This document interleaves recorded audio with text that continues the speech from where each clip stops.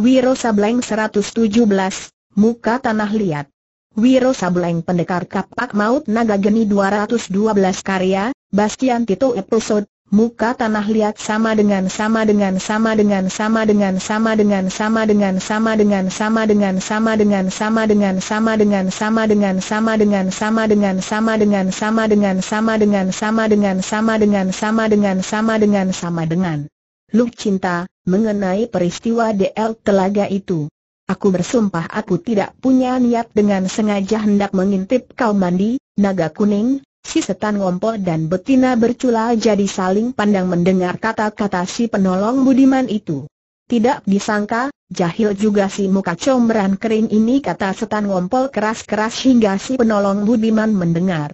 Kalau saja dia mengintip diriku tentu aku persilakan dengan dua tangan dan dua paha terbuka kata si betina bercula lalu tertawa cekikikan. Rupanya dia tahu juga betis mulus dan jidat licin yang asli. Hi kakimu berbulu, jidatmu atas bawah berambut. Siapa sudi mengintip MONIET jantan mandi kata naga kuning yang membuat betina bercula pelototkan mata dan hendak meremas bagian bawah perutnya. Satu pendekar 212 Wiro Sableng memandang seputar telaga lalu berpaling pada nenek muka kuning di sampingnya yang tegak setengah termenung dan unjukkan wajah muram. Nek, Kau yakin memang di sini hantu langit terjungkir berada sebelumnya si nenek muka kuning yang bukan lain adalah hantu selaksa angin alias hantu selaksa kentut dan bernama asli Luh Pingitan tidak segera menjawab. Sepasang matanya yang kuning menyapu seantero telaga. Sambil pandangi air telaga yang bening kebiruan dari mulutnya keluar suara mendesah. Lasedayu. Lasedayu, di mana kau? Nenek ini kemudian berpaling pada pendekar 212 Wiro Sableng. Aku tidak keliru. Walau dulu otakku mungkin tidak karuan tapi aku yakin. Di tempat inilah sedayu dan si penolong budiman berat as sebelumnya. Kau lihat saja, di sebelah situ masih ada bekas-bekas kayu perapian. Lalu di seberang sana, si nenek menunjuk ke arah seberang telaga. Itu pohon rimbun tempat aku mendekam bersembunyi mendengarkan pembicaraan mereka. Di situ aku mendengar Lasedayu berucap bahwa dia bersedia mengawini diriku. Sekarang mereka lenyap. Putus sudah harapanku, agaknya kita terlambat Nek. Mereka telah keduluan pergi, entah ke mana, Luh Pingitan tampak kecewa, puluhan tahun berpisah. Kemudian kami bertemu. Sayangnya saat itu jalan pikiranku masih tak karuan hingga aku tidak mengenali suami sendiri. Jangankan suami sendiri. Diriku sendiri aku tidak tahu siapa adanya. Kini setelah aku sadar, dia malah lenyap. Sudah di depan mata, tinggal sepejang kawan. Namun, kau jangan berputus asa Nek. Kita akan mencarinya. Pasti bertemu, Lu Pingitan arahkan pandangan ke sebuah pohon lalu melangkah mendekati. Sambil mengusap batang pohon itu dia berkata, di batang pohon ini aku menempelkan tangannya yang patah.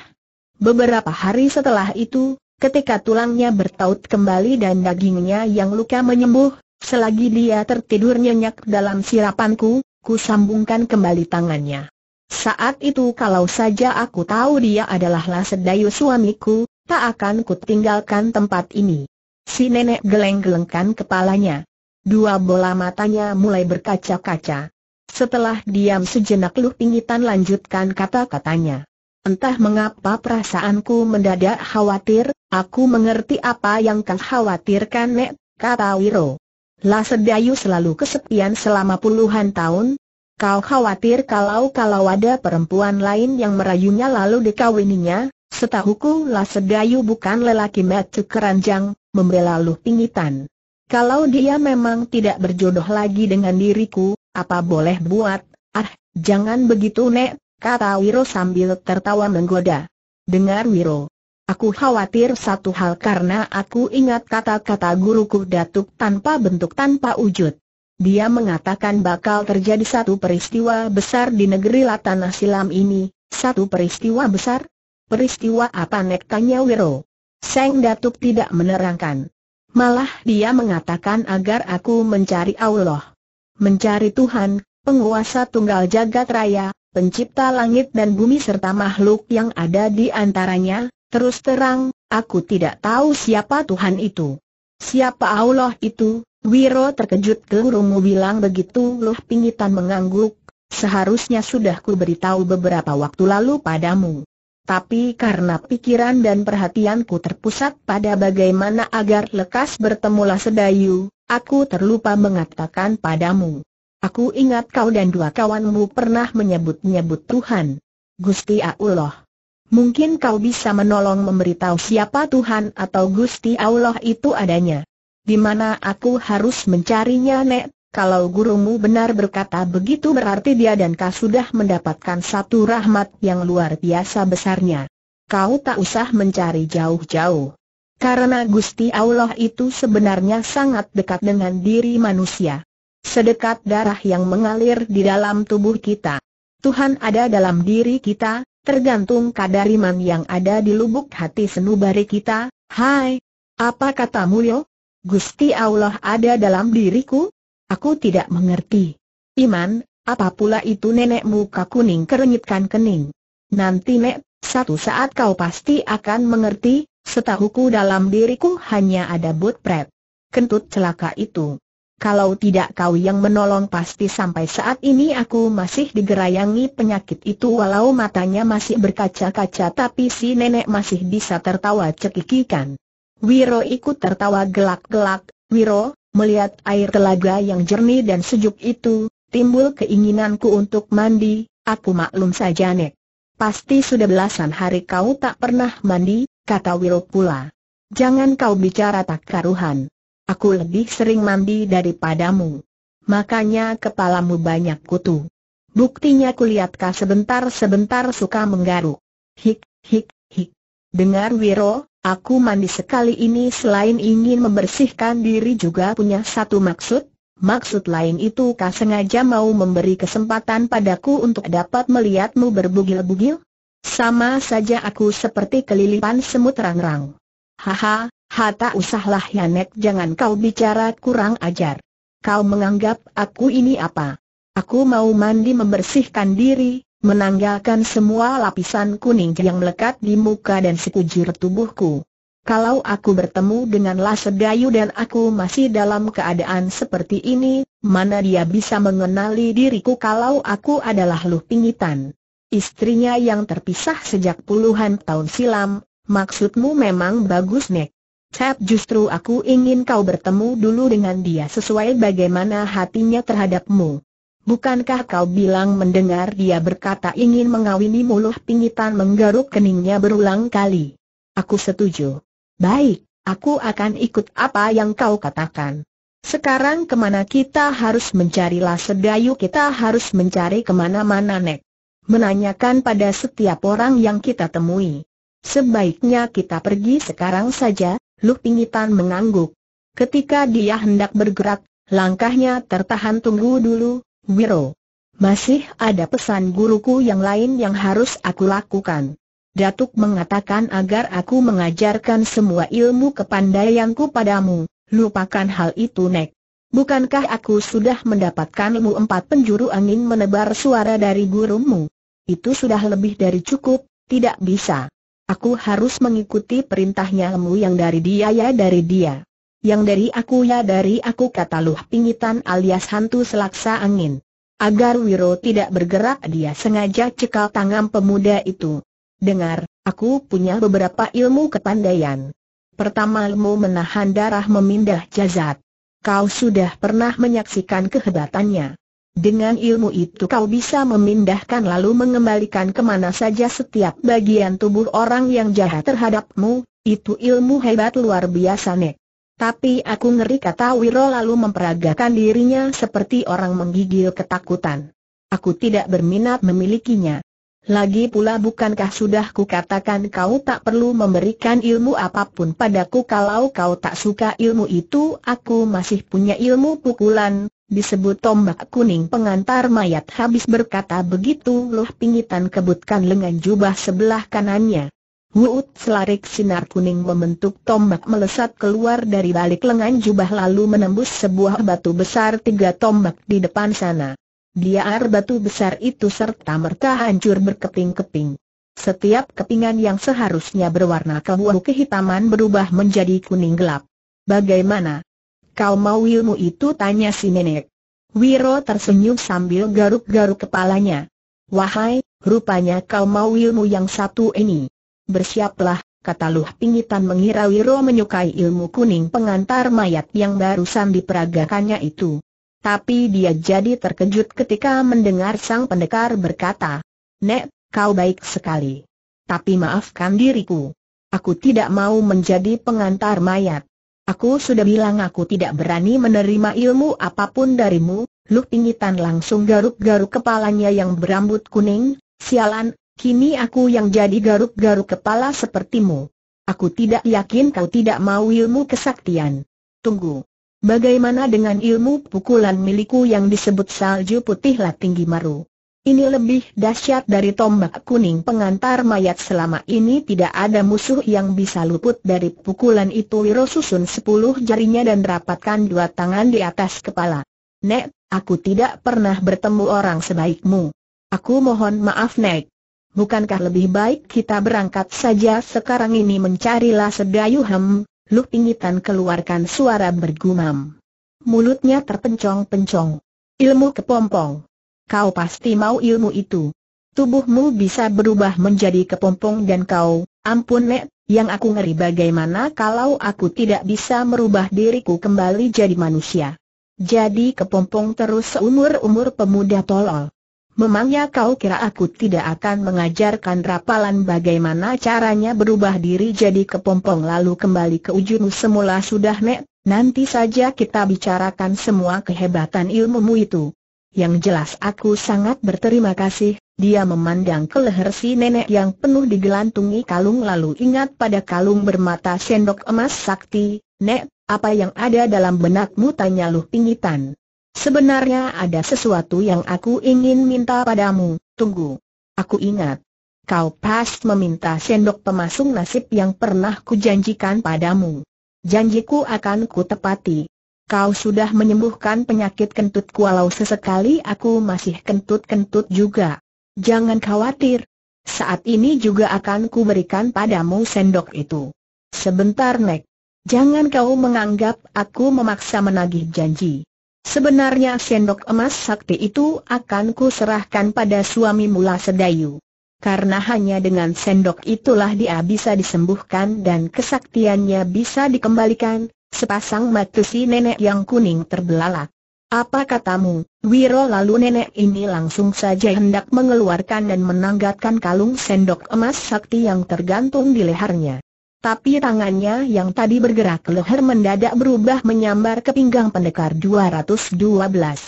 Sekali lagi dia menarik maka sosok Wiro terbetot keras. Keduanya terbanting ke tanah dan bergulingan ke balik serumpunan semak belukar lebat naik. Kau mau berbuat apa tanya Wiro heran dan curiga. Hantu selaksa angin cepat tekap mulut Wiro dengan tangan kirinya seraya berbisik, Aku mendengar ada suara orang berkelebat ke arah sini, aneh, aku tidak mendengar suara apa-apa, kata Wiro perlahan. Namun sesaat kemudian telinganya baru menangkap kelebatan seseorang yang bergerak cepat kita lihat saja siapa yang datang jawab si nenek. Matanya yang kuning memandang ke arah kiri. Wiro ikuti pandangan nenek ini. Dadanya berdebar keras ketika melihat siapa yang muncul dua yang muncul ternyata adalah seorang darah berpakaian serba biru. Walau wajahnya agak pucat dan sepasang matanya yang bagus tampak kemerahan namun tidak dapat menutupi kecantikan wajahnya. Hantu selaksa angin melirik ke arah Wiro lalu berbisik. Bukankah itu gadis yang bernama Lucinta? Gadis tercantik di seluruh negeri Latana Silam Wiro anggukan kepala sambil terus memperhatikan.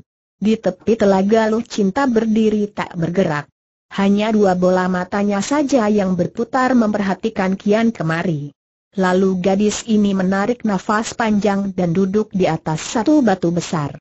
Di langit cahaya Seng Surya mulai redup karena sebentar lagi akan menggelincir masuk ke ufuk tenggelamnya. Hantu selaksa angin memegang lengan Wiro lalu kembali berbisik. Menurut kabar yang aku sirap, kau adalah satu-satunya pemuda yang dicintai gadis bernama Luh Cinta itu, air muka murid Sento Gendeng jadi berubah. Dia tersenyum sambil garuk-garuk kepala. Kabar seperti itu mana bisa dipercaya Nek, kalau begitu harus kau tanyakan sendiri padanya ujar si nenek pula. Enak saja kau Nek. Jangan berani berbuat macam-macam, kau pemuda pengecut atau tolol. Biar aku yang bertanya padanya lalu sekaligus mengatakan bahwa kau sendiri juga mencintainya nenek gila Wiro cekalerat-rat lengan lu pingitan. Hem, jadi kau tidak mencintainya? Jangan kau berani dusta anak muda. Aku melihat dari air muka serta pancaran matamu. Kau mencintai gadis itu dengar nek, sebagai lelaki waras aku memang tertarik pada luh cinta. Tapi bukan aku saja. Kurasa semua pemuda di negeri Latana Silam menyukai gadis itu. Tapi, tapi yang dicintainya cuma kau seorang. Apa kau mau berkilah, soal dia mencintaiku mana tahu nek, kau tolol atau pura-pura dulu? Hik, hik, hik. Saat ini aku tahu bagaimana perasaanmu. Kau hendak keluar dari balik semak belukar ini, ingin menemui gadis itu aku dapat membaca isi hatimu di mukamu yang toilol. Hik, Hik, hik di atas batu loh cinta masih tampak duduk sambil pandangi air telaga yang kini seolah disepuh kuning akibat siraman cahaya sang surya yang hendak tenggelam. Tiba-tiba gadis itu melangkah ke sederetan batu-batu setinggi pinggang di arah timur tepian telaga. Di sini dia memandang ke langit, lalu memperhatikan berkeliling. Merasa yakin tidak ada orang lain di tempat itu maka perlahan-lahan dia mulai membuka pakaian birunya. Dua bola mata pendekar 212 membesar menyaksikan pemandangan yang tidak terduga itu. Tapi mendadak ada dua telapak tangan menekap matanya lalu terdengar suara si nenek muka kuning. Dasar pemuda mata gatal. Tadi kau bilang tidak sudi melihat aku berbugil-bugil. Karena aku sudah tua bangka, tubuhku peot jelek dan keriputan. Tapi sekarang ada gadis yang mau mandi telanjang matamu seperti mau melompat keluar nek, aku. Bukan maksudku mau memperhatikan. Tapi semua terjadi begitu mendadak. Kalau melihat sepintas kurasa tidak apa-apa nek. Itu namanya rezeki kebetulan. Tapi kalau dipandang atau sengaja mengintip terus-terusan itu baru dosa nak saja kau bicara. Saat ini aku merasa sekujur tubuhmu sudah pada kencang kata si nenek. Nek, aku. Lepaskan tanganmu. Aku berjanji tidak akan memandang ke arah telaga. Aku, Wiro pegangi dua tangan si nenek. Lalu dia merasa bagaimana dua tangan itu menekannya ke bawah hingga dia jatuh berlutut lalu sekali lagi dua tangan si nenek bergerak, sosok Wiro terpuntir membelakangi telaga dan terduduk jatuh menjelepok di tanah. Kalau kau berani memandang lagi ke arah telaga, kujitak kepalamu sampai benjol setelah mengancam begitu baru luh pingitan lepaskan kedua tangannya yang menekap menutupi mata pendekar 212. Wiro tertawa-tawa sambil garuk-garuk kepala. Dari telaga didengarnya suara orang mencebur masuk ke dalam air di sampingnya si nenek tegak memperhatikan Luh Cinta berenang di tepi telaga di sela-sela batu dan sesekali tubuhnya menyelam lenyap di bawah permukaan air. Selagi Luh Cinta menyelam untuk kesekian kalinya, tiba-tiba dari balik satu pohon besar berkelebat satu bayangan hitam. Dua kali melompat orang ini sampai dekat batu di atas mana Luh Cinta meletakkan pakaian serta perbekalannya. Orang tak dikenal tersebut memeriksa pakaian Luh Cinta seperti mencari-cari sesuatu. Dari permukaan air muncul kepala dan sosok setengah badan Luh Cinta. Orang yang ada dekat batu tampak kaget, memandang terpana lalu cepat bergerak membungkuk ke balik sebuah batu. Kurang ajar. Ada yang datang. Berani dia mengintip anak gadis orang sedang mandi, Nek, ada apa? Apa yang terjadi? Tanya Wiro. Diam kau. Jangan berani membalik membentak si nenek. Lalu sambil melesat keluar dari balik semak belukar lebal luh pingitan berteriak. Makhluk kurang ajar. Berani kau mengintai perempuan mandi nek Wiro garuk kepalanya. Siapa yang mengintai tapi si nenek sudah tak ada lagi di sampingnya. Perlahan-lahan Wiro putar kepalanya.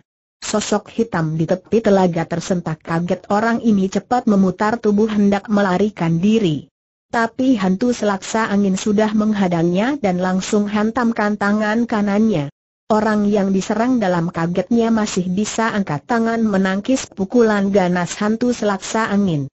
Buk dua tangan beradu keras di udara orang berpakaian serba hitam keluarkan seruan tertahan dan terpental sampai dua tombak. Sebaliknya si nenek terjajar tiga langkah dan mengeluh kesakitan lalu merutuk tak karuhan. Di dalam air luh cinta terpekik ketika mengetahui ada orang lain di tepi telaga, dekat sekali di tempatnya mandi. Lalu ada suara perempuan membentak dan memaki disusul suara gebrakan orang berkelahi. Gadis ini jadi bingung. Dia bergerak ke tepi telaga ke arah batu di mana pakaiannya berada. Tapi si nenek cepat berteriak. Lu cinta, jangan keluar dari dalam air. Ada lelaki kurang ajar di tempat ini. Dia mengintip kau mandi. Biar ku beri pelajaran. Akan ku korek dua biji matanya mendengar peringatan hantu selaksa angin itu tentu saja Lu Cinta tidak berani keluar dari dalam telaga ingin sekali dia ikut menggebuk lelaki kurang ajar itu. Tapi dalam keadaan seperti itu mana mungkin dia melakukan. Seperti yang diberitahu si nenek, mau tak mau dia terpaksa mendekam bertahan di dalam air. Tunggu. Tahan seranganmu berseru orang berjubah hitam yang kembali hendak diserang oleh hantu selaksa angin. Kali ini tidak tanggung-tanggung si nenek akan menghantam dengan pukulan tombak kuning pengantar mayat aku tidak bermaksud jahat. Aku sama sekali tidak mengintip gadis itu. Aku, makhluk jahanam. Kau sudah tertangkap basah. Masih mau berkilah amarah hantu selaksa angin tidak tertahankan lagi. Untuk kedua kalinya nenek ini menyerbu. Kali ini dia siap melepaskan pukulan mautnya yang bernama salju putih tinggi maru. Dua tangan mengepal, diangkat setinggi dada lalu didorong sambil sepuluh jari membuka.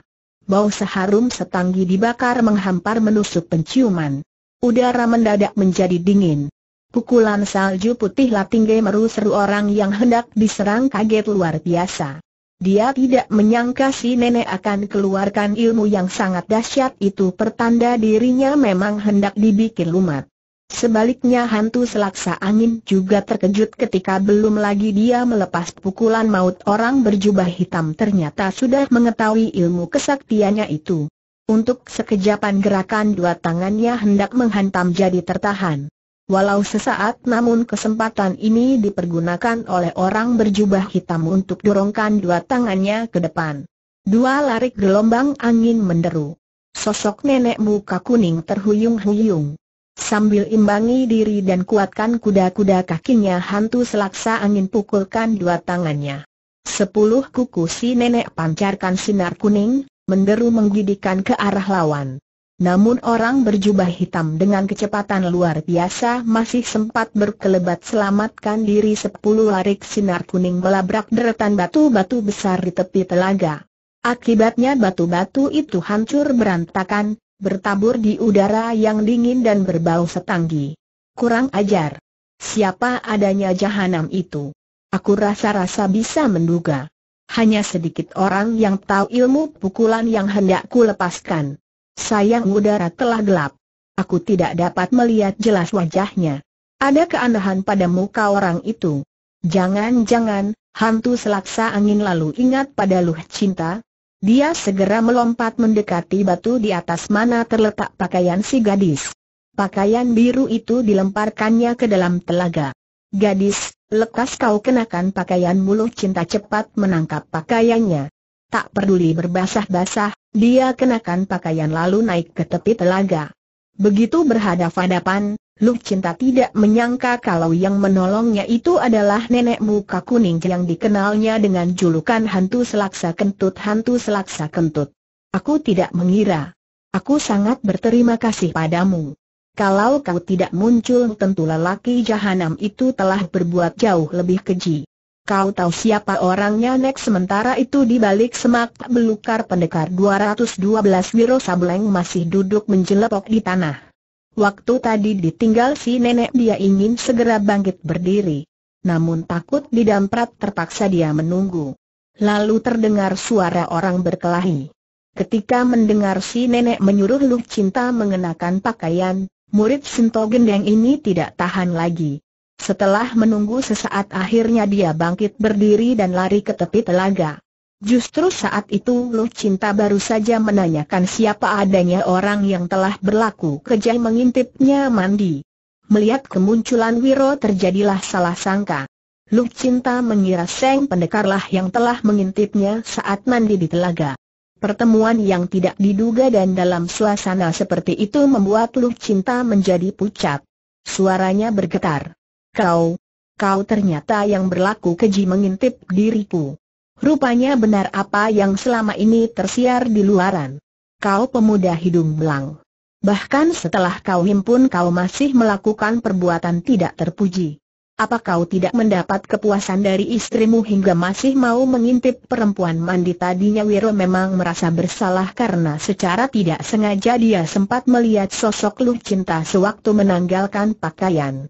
Setelah ditegur hantu selaksa angin dia tidak meneruskan perbuatannya itu. Namun yang mengejutkan dan membuat wajah Wiro ikut-ikutan pucat adalah ucapan Luh Cinta, Bagaimana dia tahu aku sudah kawin Wiro bertanya sendiri dalam hati dan mendadak dadanya terasa sesak. Luh cinta, maafkan aku. Aku tidak sengaja, bagaimana mungkin ada orang mengintip secara tidak sengaja. Perbuatanmu sungguh keji memalukan, aku, Wiro tak bisa meneruskan ucapannya. Saat itu nenek muka kuning segera menengahi. Luh cinta, yang tadi mengintip kau mandi bukan dia. Tapi orang lain, Lu Cinta jadi terkejut mendengar keterangan si nenek. Hingga matanya terbelalak berganti-ganti memandang Wiro dan hantu selaksa angin. Orang yang berbuat keji itu sudah kabur, hantu selaksa angin menambah keterangannya. Kau, kau sempat mengenali siapa adanya lelaki terkutuk itu, Nek tanya Luh Cinta lalu memandang pada Wiro dengan air muka seperti menunjukkan penyesalan padahal hatinya masih perih karena mengetahui Wiro telah menikah dengan seorang gadis yang bernama Lu Rembulan, baka episode sebelumnya berjudul Rahasia Perkawinan Wiro, keadaan di tempat ini agak gelap. Aku tidak bisa melihat jelas wajah orang itu. Dia mengenakan jubah hitam dan mukanya juga hitam pekat. Aku menduga, jangan-jangan bukankah dia orang yang selama ini dikenal dengan julukan si penolong budiman terkejutlah Luh Cinta dan juga Wiro mendengar ucapan si nenek. Selama ini dia memang selalu mengikuti diriku, kata Luh Cinta pula. Walau aku curiga padanya tapi sebegitu jauh dia tidak pernah melakukan hal-hal yang tidak baik. Tahu-tahu kali ini, tidak terduga dia melakukan perbuatan keji itu. Aku akan mencarinya sampai dapat kalau belum ku hajar habis-habisan belum puas hatiku, kata Luh Cinta dia meraba-raba pakaiannya. Lalu berpaling ke arah batu besar tempat tadi dia meletakkan pakaiannya. Di situ terletak sehelai kantong kain miliknya. Luh Cinta segera mengambil kantong itu dan memeriksa isinya. Dia mencari-cari, membalikan kantong kain itu berulang kali, meraba kian kemari. Pucatlah wajah gadis ini untuk kesekian kalinya. Ada sesuatu barangmu yang hilang lu cinta tanya hantu selaksa angin. Yang ditanya menjawab dengan anggukan. Wiro ingin menanyakan benda apa yang hilang tapi tak sanggup keluarkan ucapan. Akhirnya si nenek yang bertanya. Barang apa lu cinta sebuah ukiran bunga mawar terbuat dan batu berwarna merah. Bagiku benda itu sangat berharga sekali. Kuanggap seperti nyawa sendiri, tadi aku sempat melihat si penolong Budiman memeriksa pakaian dan barang-barangmu yang ada di atas batu, kata hantu selaksa angin pula. Kalau begitu jelas dia yang mencuri mawar dari batu merah itu kata Wiro.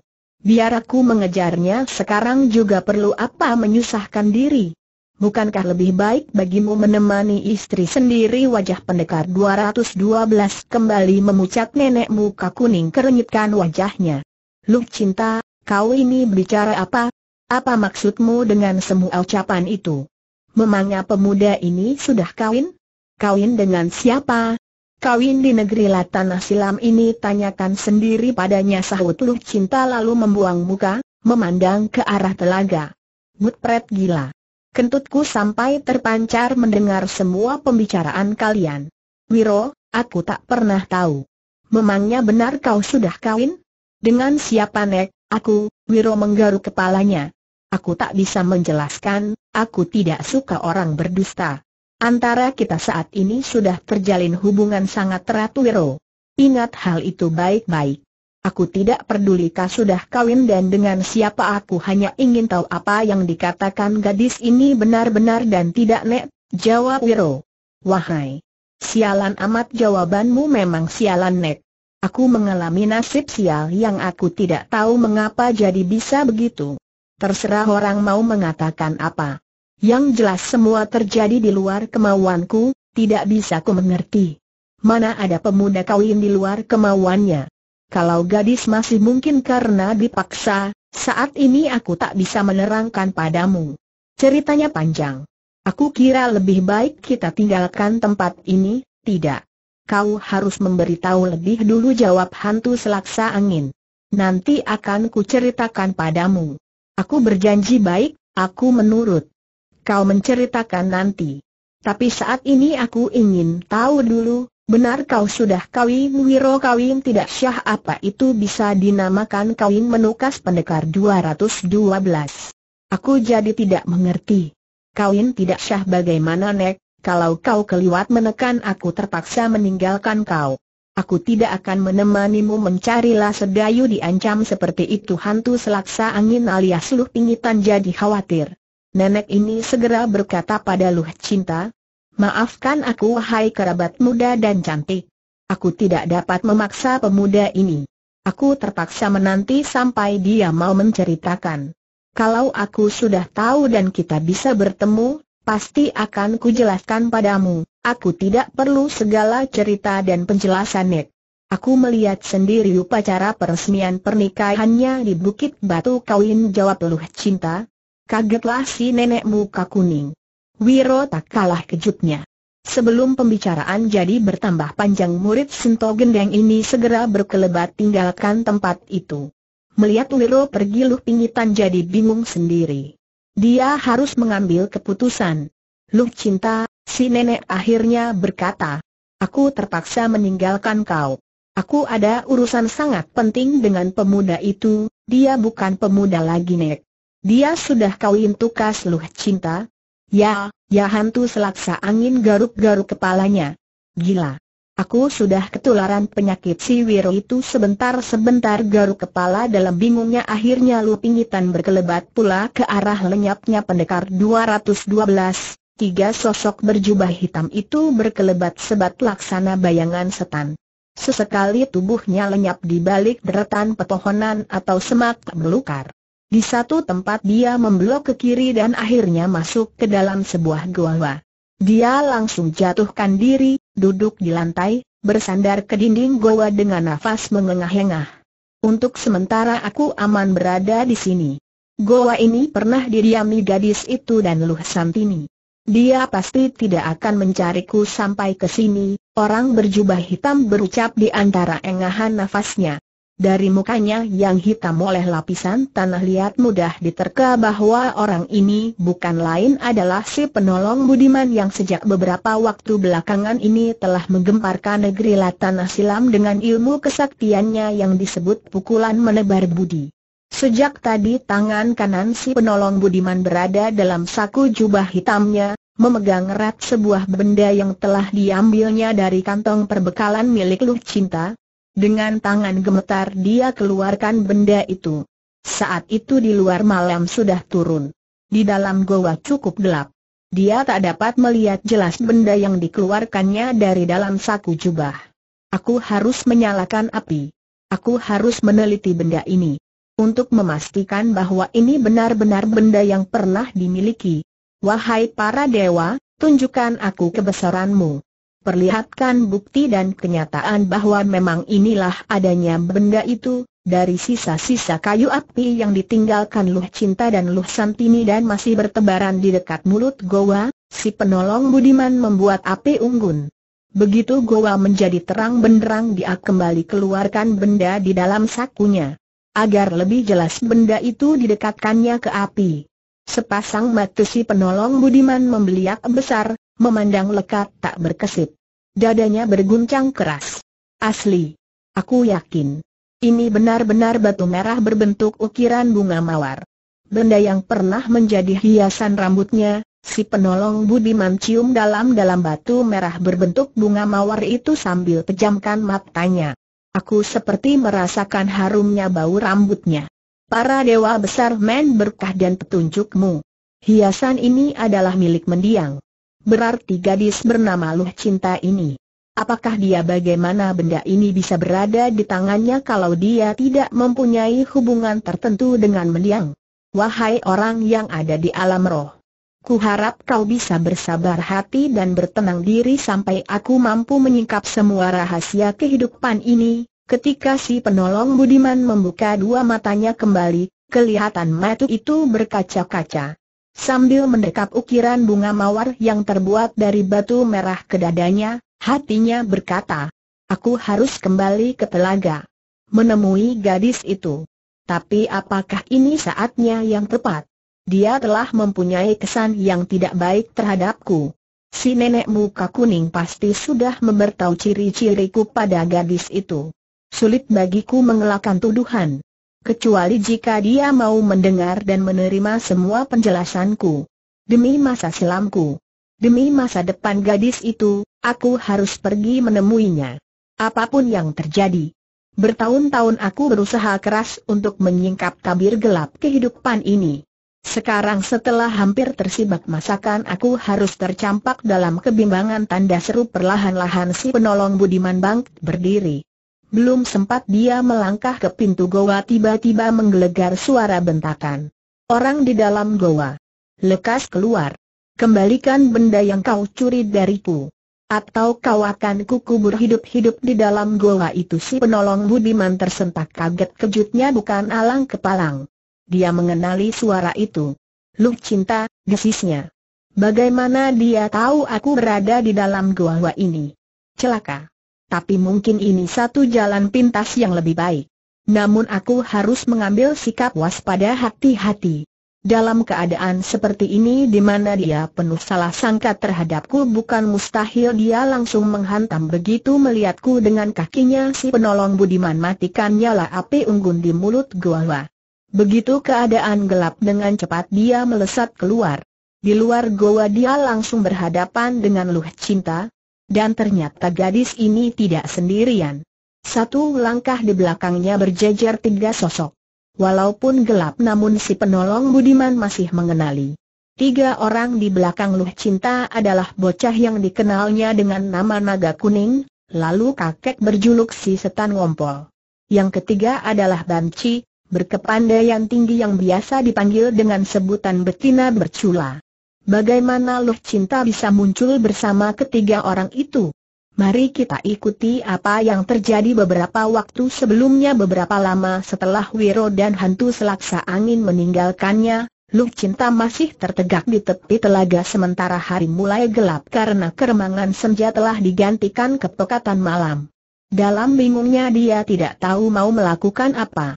Mengejar si penolong Budiman yang telah mencuri barang berharga miliknya atau mengejar Wiro dan hantu selaksa angin.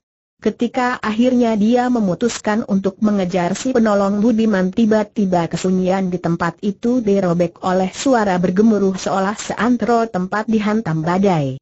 Lalu terdengar teriakan beberapa orang. Belum hilang kagetnya si gadis tiba-tiba tiga sosok mencelat dari dalam kegelapan dan jatuh terbanting di hadapannya. Orang biasa pasti tak akan mampu bergerak untuk beberapa lamanya paling tidak ada bagian tubuhnya yang cedera atau ada tulangnya yang patah. Namun ketiga orang yang berkaparan di tanah itu walau kelihatan babak belur dengan cepat melompat bangkit, memasang kuda-kuda, sama-sama menghadap ke arah kegelapan. Kalian bertiga, apa yang terjadi tanya Luh Cinta? Belum sempat ada yang menjawab tiba-tiba satu bayangan putih berkelebat orang ini ternyata adalah hantu sejuta tanya sejuta jawab. Seperti dituturkan sebelumnya dalam episode hantu selaksa angin laungu dan hantu sejuta tanya sejuta jawab tidak mampu menghadapi pendekar 212 Wiro Sableng yang dibantu oleh Seng Junjungan.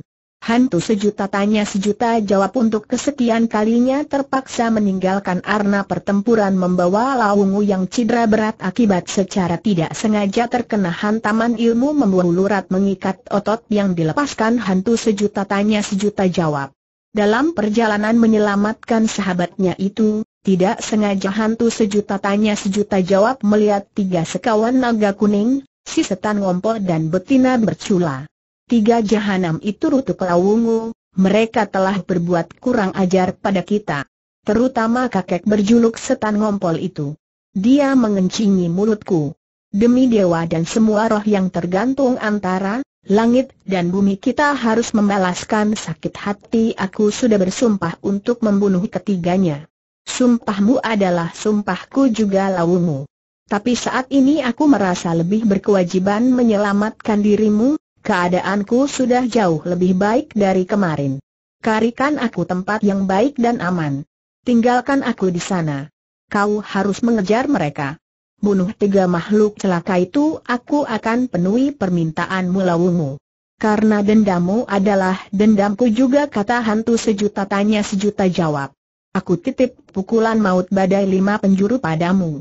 Aku ingin kau membunuh mereka dengan ilmu ini kata Lawungu. Lalu kakek ini lekatkan telapak tangan kanannya ke telapak tangan kanan hantu sejuta tanya sejuta jawab. Bersamaan dengan itu dia kerahkan tenaga dalam. Dua tangan yang samping berlekatan itu memancarkan cahaya terang kebiruan, dengan kesaktiannya Lawungu memindahkan ilmu badai lima penjuru pada hantu sejuta tanya sejuta jawab. Di satu kaki bukit kecil dekat sebuah mata air hantu sejuta tanya sejuta jawab tinggalkan sahabatnya lalu mengejar naga kuning, setan ngompol dan betina bercula, mengenai riwayat dendam kesumat lawungu dan hantu sejuta tanya sejuta jawab terhadap naga kuning, setan ngompol dan betina bercula harap baka episode berjudul Badai Fitnah Latana Silam, saat itu naga kuning, Setan Ngompol dan Betina bercula baru saja berpisah dengan Lakasipo dan Lurinjani setelah terjadi bentrokan dengan Priangsa Putih, baka episode berjudul Rahasia Perkawinan Wiro. Mereka berusaha mencari Wiro karena Priangsa Putih telah melancarkan tuduhan bahwa pendekar 212 Wiro Sableng telah melakukan perbuatan mesum dengan peribunda yang menyebabkan peri itu kini menjadi hamil. Karena ketiganya berjalan sambil mengobrol dan sesekali tertawa hahaha, tidak terlalu sulit bagi hantu sejuta tanya sejuta jawab mengejar mereka.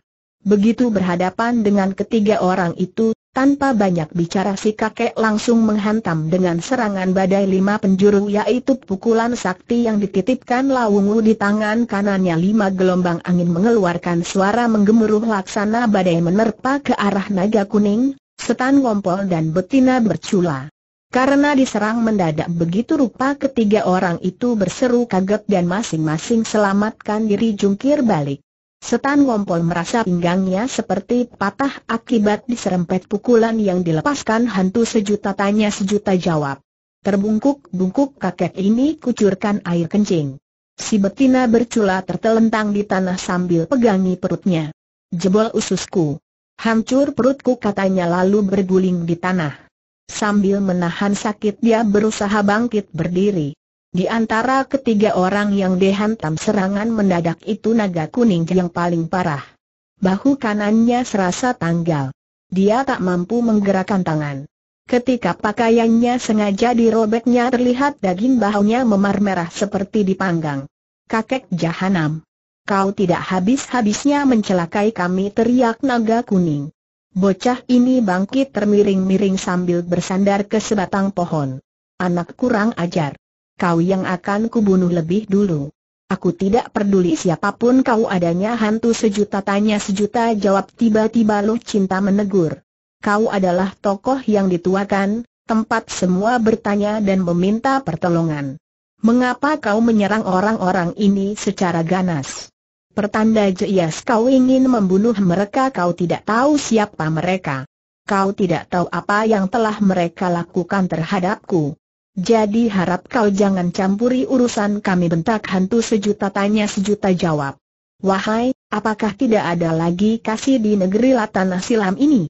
Hingga sesama makhluk hanya menginginkan kematian seperti diketahui sebenarnya baik hantu sejuta tanya sejuta jawab maupun Lawungu sama-sama merasa jerih terhadap bocah ini.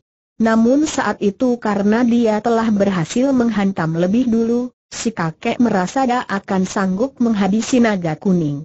Maka sambil tertawa mengekeh dia angkat tangan kanannya, siap melancarkan pukulan badai lima penjuru untuk kedua kalinya. Pukulan ini diarahkan pada naga kuning. Sementara itu tangan kirinya tak tinggal diam. Dia keluarkan ilmu yang disebut memeluk bumi menghantam matahari. Tangan kirinya itu berubah menjadi panjang, lalu menyambar ke arah betina bercula dan setan ngompol. Celaka! Dia seperti kesetanan ujar naga kuning. Makhluk yang otaknya di luar kepala ini benar-benar inginkan nyawa kita. Aduh kencingku tidak tertahankan kata si setan ngompol.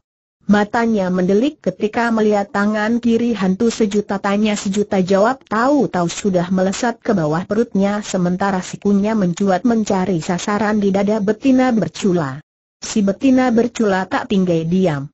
Dia membuat gerakan mundur satu langkah. Begitu sikut si kakek lewat dua tangannya segera menyerbu dayam gerakan yang disebut pelukan mesra pengantar kematian. Seperti pernah diceritakan ilmu ini konon hanya bisa dimiliki oleh orang-orang yang punya kelainan seperti si betina bercula.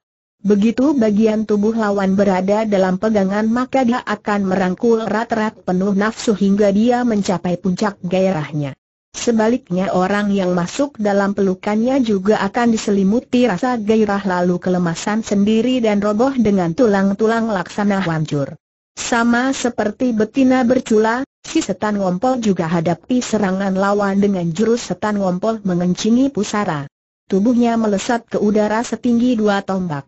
Dua kakinya dibuka lebar tebar menebar tendangan. Namun dari selangkangannya bermunkratan air kencing ke arah hantu sejuta tanya sejuta jawab. Sementara Lu Cinta masih menimbang-nimbang apakah dia perlu turun tangan membantu ketiga orang itu, tiba-tiba terjadilah sesuatu empat kakek sakti yang otaknya ada di luar kepala ini berseru keras. Dia bukan kaget atau takut menghadapi serangan si setan ngompol dan betina bercula, namun menjadi pucat sewaktu melihat bagaimana dari balik dada pakaian naga kuning saat itu menyembul sosok kuning kepala seekor binatang bermata merah. Bersamaan dengan itu wajah si bocah berubah menjadi wajah seorang kakek berusia lebih dari seratus tahun. Naga hantu langit ketujuh teriak hantu sejuta tanya sejuta jawab. Walau rasa takut serta merta menjalari tubuhnya namun untuk berbalik dan ambil langkah seribu sudah kepalang tanggung. Maka kakek ini tarik serangan tangan kirinya ke arah setan ngompol dan betina bercula. Tangan itu kini dipergunakan untuk menggebuk sosok naga kuning. Sedang pukulan badai lima penjuru tetap dihantamkannya pada si bocah setelah terlebih dulu melipat gandakan tenaga dalamnya. Dibarengi suara menggelegar seolah hendak membelah bumi satu sosok menyerupai naga kuning bermata merah yang menyembul keluar dari dada naga kuning mendadak berubah besar. Dengan mulut terbuka makhluk aneh ini melesat ke arah hantu sejuta tanya sejuta jawab. Si kakek berteriak ngeri ketika melihat ada satu mulut raksasa sebesar mulut goa menyambar ke arahnya. Luk cinta tercekat dan keluarkan seruan tertahan. Betina bercula terpekik. Setan ngompol terkencing-kencing ketika melihat sosok ular luar biasa besarnya yang keluar dari dada naga kuning menelan kepala lalu tubuh hantu sejuta tanya sejuta jawab hingga amblas ludas tak bersisa lagi. Naga kuning seperti tidak percaya melihat apa yang terjadi. Dia hampir jatuh pingsan ketika menyaksikan bahwa naga besar itu keluar dari dalam tubuhnya. Sekujur tubuhnya menggigil. Tiba-tiba di udara tampak kabut putih berarak turun. Perlahan-lahan kabut itu berubah menjadi bentuk sosok seorang tua berselempang kain putih. Rambut, kumis dan janggut serta alisnya yang serba putih menjulai menyembunyikan wajahnya. Namun naga kuning segera mengenali siapa adanya sosok itu. Anak ini cepat jatuhkan diri, duduk bersimpuh di tanah dan tundukkan tubuhnya ke depan. Mulutnya berucap menyebut satu nama. Kiai Gede Tapa Pamungkas, terima hormat saya, Naga Kuning, Salam hormatmu aku terima, orang tua berselempang kain putih menjawab salam naga kuning. Suaranya halus seolah datang dari kejauhan tetapi cukup jelas terdengar. Aku muncul bukan untuk menemuimu. Melainkan untuk menemui naga hantu langit ketujuh naga kuning kembali merunduk. Makhluk berbentuk naga kuning bermata merah yang masih menggantung di udara keluarkan suara aneh lalu tundukkan kepala di hadapan orang tua berselempang kain putih yang mengapung di udara. Naga hantu langit ketujuh. Aku berterima kasih kau telah melindungi anak itu sebagaimana menjadi tugas kewajibanmu sepanjang hidupnya. Namun aku tidak ingin kau membunuh kakek berjubah putih itu. Harapkah segera mengeluarkannya dari perutmu naga kuning besar kedipkan sepasang matanya yang merah lalu kembali rundukan kepala dan keluarkan suara lirih panjang.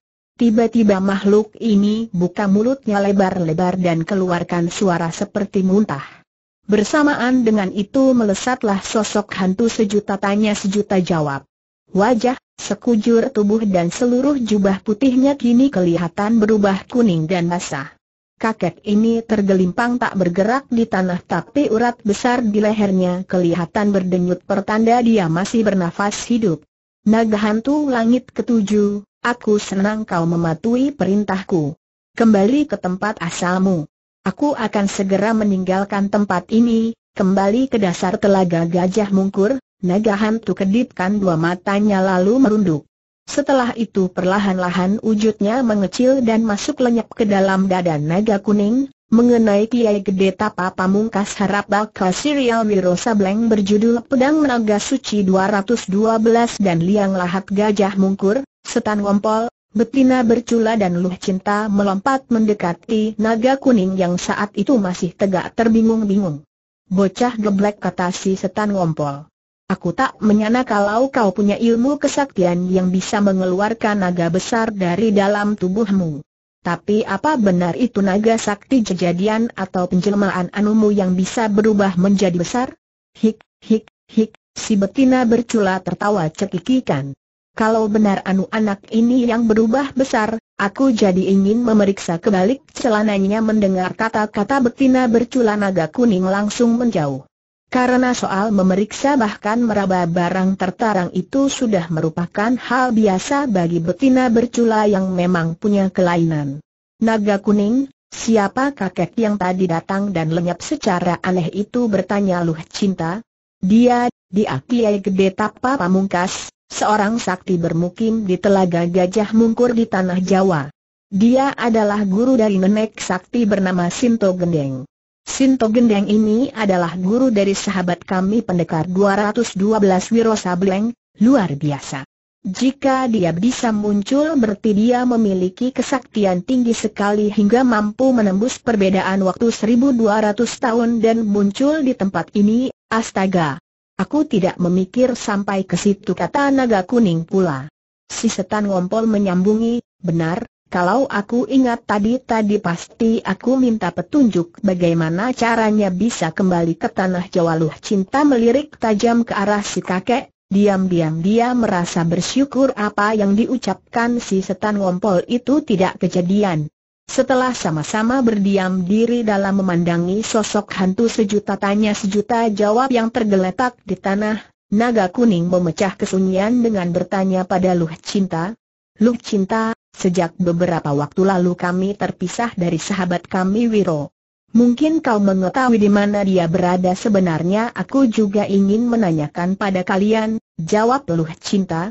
Sahabatku, apakah kau sudah mendengar kabar, entah benar entah tidak? Bahwa Wiro menghamili peribunda wajah Luh Cinta tampak menjadi merah mendengar pertanyaan itu. Gadis ini menggigit-gigit bibirnya sendiri menahan gelora perasaan hatinya. Aku mendengar banyak hal terjadi belakangan ini.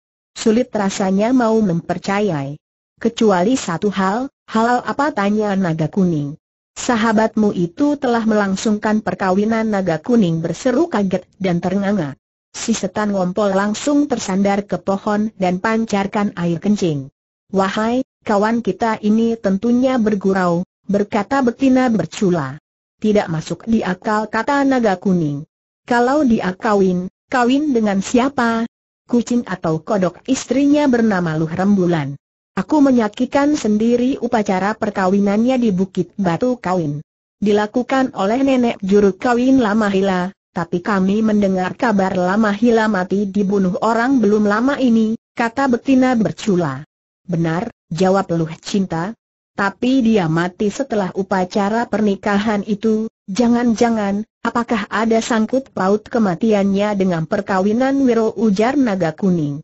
Kalau tidak bertemu dengan anak setan itu dan dia bicara sendiri, aku belum mau percaya dia sudah kawin kata si setan ngompol pula. Aku tidak ingin membicarakan hal itu lebih jauh, kata Luh Cinta. Saat ini aku tengah mencari orang bermamasi penolong Budiman. Mungkin kalian mengetahui atau melihat dia berada di mana orang itu. Bukankah dia si jubah hitam yang kita lihat tak jauh dari telaga sore tadi ujar betina bercula. Betul, sore tadi kami melihat seorang berjubah hitam yang mukanya juga hitam berlari cepat ke arah sebuah telaga, kalian yakin, jubah hitam muka hitam tanya Luh Cinta ingin memastikan. Yakin sekali jawab naga kuning, betina bercula dan setan ngompol berbarengan. Tanpa banyak cerita lagi Luh Cinta langsung berkelebat tinggalkan ketiga orang itu. Hai seru naga kuning. Agaknya ada sesuatu antara luh cinta dengan manusia muka tanah liat itu. Bukankah selama ini diketahui si penolong Budiman selalu menguntit luh cinta ke mana-mana? Aku yakin lelaki itu naksir pada si gadis. Tapi malu karena mungkin mukanya jelek lalu sengaja ditutup dengan tanah liat kalau mau tahu ceritanya mengapa tidak kita ikuti luh cinta ujar setan ngompol. Naga kuning dan betina bercula menyetujui. Ketiga orang itu segera lari ke arah lenyapnya si gadis lima begitu orang yang dicarinya muncul di depan goa, Luh Cinta langsung menegur penolong Budiman, selama ini kau selalu mengikuti ke mana aku pergi. Terus terang sejak lama aku menaruh curiga terhadapmu. Kecurigaanku hari ini menjadi kenyataan, Luh Cinta, aku akan jelaskan padamu, kata orang bermuka tanah liat dengan suara bergetar. Ucapanku belum selesai wahai orang bermuka tanah liat memotong lu cinta. Hari ini kepercayaanku sirna terhadapmu. Seharusnya saat ini aku memberi pelajaran pahit padamu. Menurunkan hukuman atas dirimu. Tentunya kau sudah tahu dua kesalahan besar yang telah kau lakukan atas diriku lu cinta, mengenai peristiwa di telaga itu. Aku bersumpah aku tidak punya niat dengan sengaja hendak mengintip kau mandi, naga kuning, si setan ngompol dan betina bercula jadi saling pandang mendengar kata-kata si penolong budiman itu. Tidak disangka, jahil juga si muka comberan kering ini kata si setan ngompol keras-keras hingga si penolong budiman mendengar. Kalau saja dia mengintip diriku tentu aku persilakan dengan dua tangan dan dua paha terbuka, kata si betina bercuta lalu tertawa cekikikan. Rupanya dia tahu juga betis mulus dan jidat licin yang asli. Hik hik, hik kakimu berbulu, jidatmu atas bawah berambut. Siapa sudi mengintip monyet jantan mandi kata naga kuning yang membuat betina bercula pelototkan mata dan hendak meremas bagian bawah perutnya kau sudah tertangkap basah berbuat kekejian yang sangat memalukan. Sungguh sikapmu tidak sejantan seperti yang kau perlihatkan selama ini Luh Cinta kembali keluarkan ucapan. Aku mohon maaf dan tidak dapat menyalahkan dirimu jika sampai berprasangka demikian. Tapi ketahuilah, Luh Cinta angkat tangannya memberi isyarat hingga si penolong Budiman terpaksa hentikan ucapannya. Kehidupan ini berlandaskan kasih. Namun manusia berperilaku aneh memilih-milihnya menjadi kenyataan pahit selama ini aku bersikap baik terhadapmu. Namun kebaikan itu kau balas dengan keculasan keji.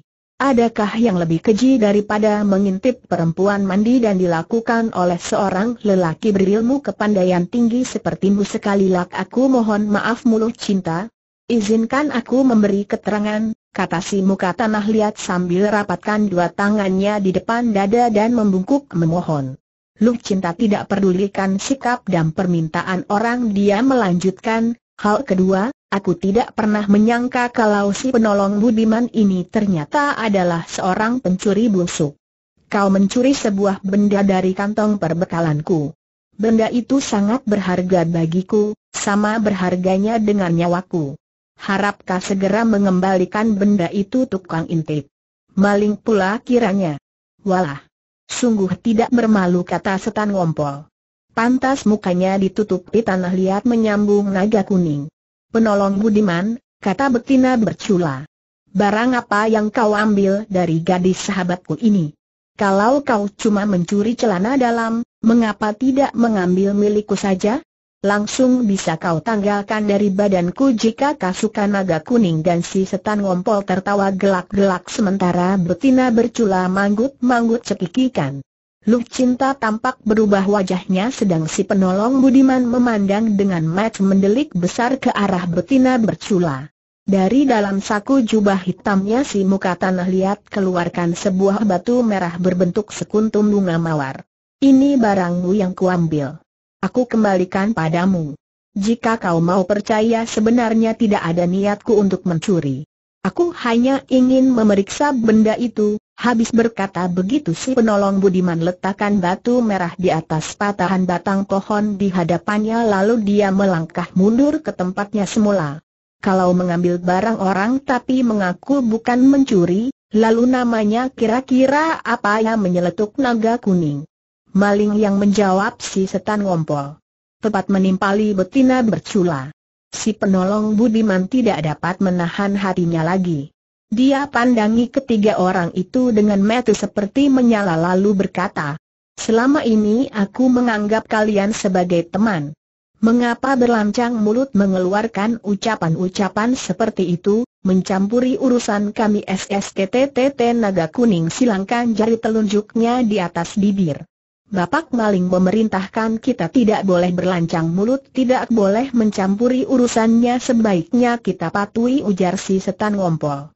Kalau dia sampai memarahi kita, Aku pasti akan terkencing-kencing si penolong Budiman hampir tak dapat menahan amarahnya diejek terus-terusan.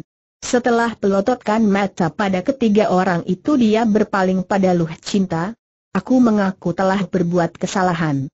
Aku bersedia menerima hukuman hem, Naga kuning tegak berkacak pinggang dengan tangan kiri sementara tangan kanannya mengusap-usap dagunya seperti orang tua mengusap jenggot lalu dia memandang pada si setan ngompol dan betina bercula. Kira-kira hukuman apa yang pantas dijatuhkan pada seorang pencuri sekaligus tukang intip perempuan mandi pelintir saja anunya jawab setan ngompol seenaknya lalu tertawa mengekeh sambil pegangi bagian bawah perutnya. Kalau memelintir anu, serahkan saja tugas itu padaku kata betina bercula. Lalu sambil tertawa cekikikan dia melangkah mendekati si penolong Budiman dan tangan kanannya diulurkan ke bawah perut orang seperti benar-benar hendak melakukan apa yang diucapkannya. Si penolong Budiman tidak dapat lagi menahan diri. Amarahnya meledak menembus ubun-ubunnya, tangan kanannya bergerak. Laak tamparan keras melayang. Betina bercula terpekik keras dan terbanting merintih di tanah. Darah mengucur dari sudut bibirnya yang pecah. Maling busuk, pengintip keji. Kau memang tidak punya hati kemanusiaan teriak naga kuning marah melihat betina bercula tergeletak mengenaskan begitu rupa. Anak ini menerjang dan hantamkan tangan kanannya melepas pukulan naga murka merobek langit.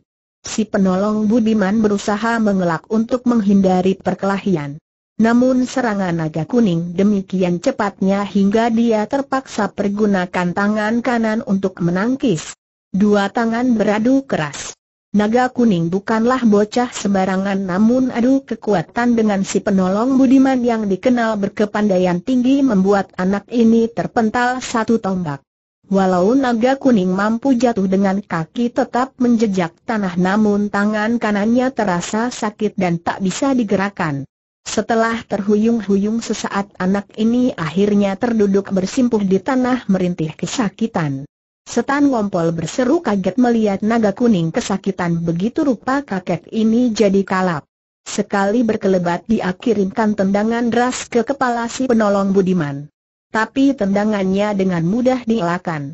Malah satu jotosan yang dilancarkan lawan sebagai balasan melanda dadanya, membuat si kakek ambruk muntah darah makhluk muka tanah liat.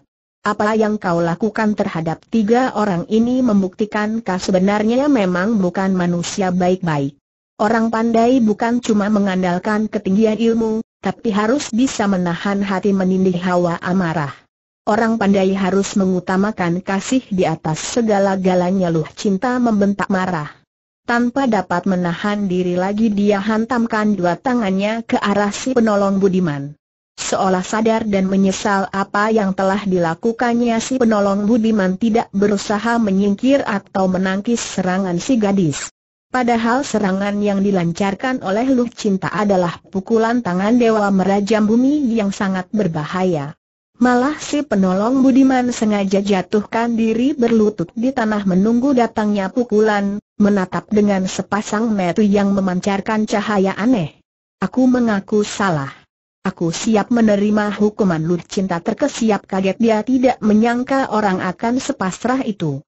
Padahal pukulan yang dilancarkannya jika terkena telak akan menyebabkan lawan terbanting rubuh dan bisa lumpuh seumur hidup. Hati Luh Cinta yang penuh kasih jadi terguncang. Pukulannya yang sudah menghantam setengah jalan diputarnya demikian rupa agar tidak mengenai si penolong Budiman. Namun tetap saja serangan ganas itu menyambar sosok si penolong Budiman sebelah kiri malah tepat di bagian dada dan pinggang. Sesaat lagi pukulan tangan Dewa Merajam Bumi akan menghantam makhluk bermuka tanah het itu, tiba-tiba dari kegelapan malam berkelebat seseorang sambil menyorongkan sebatang tongkat bambu berwarna kuning, berusaha menangis serangan luh cinta. Kerak tongkat bambu patah pukulan Luh Cinta melenceng ke kiri. Membongkar tanah dan bebatuan yang ada di tempat itu. Sosok si penolong Budiman walau selamat tapi terlempar sejauh dua tombak bahu kirinya seperti ditusuk puluhan jarum dan tak bisa digerakkan. Terhuyung-huyung dia bangkit berdiri jika saja mukanya tidak dilapisi tanah liat jelas akan terlihat bagaimana wajahnya pucat seputih kain kafan. Orang ini menatap sebentar ke arah Luh Cinta, Lalu tidak menunggu lebih lama dia putar tubuhnya dan lenyap dari tempat itu. Luh Cinta hendak mengejar tapi satu suara berkata mencegahnya. Tak perlu kau kejar orang itu Luh Cinta saatnya kelak kalian akan bertemu kembali Luh Cinta terkejut. Dia seperti mengenali suara itu. Cepat gadis ini berpaing ke samping kiri. Mulutnya keluarkan seruan tertahan. Naga kuning, Si setan ngompol dan betina bercula yang ada di tempat itu juga sama-sama melengak kaget dan ngeri. Si kakek langsung terkencing-kencing. Ampun, makhluk apa ini, kata betina bercula dengan tengkuk merinding. Saat itu dia masih terduduk di tanah sedang si kakek berdiri di sampingnya. Dalam ketakutan tangannya dipagutkan ke selangkangan si setan ngompol, Membuat kakek ini tambah aur-auran kencingnya enam orang yang berdiri di hadapan Luh Cinta saat itu adalah seorang perempuan yang sekujur tubuhnya mulai dari kepala sampai ke kaki dilengketi oleh ratusan kodok hijau berbagai ukuran. Dari wajahnya yang kelihatan cuma dua mata serta lubang hidung dan sedikit bibir. Di tangan kanannya dia memegang sebatang tongkat bambu kuning yang telah patah yang kemudian ditancapkannya ke tanah hingga amblas sampai dua pertiganya.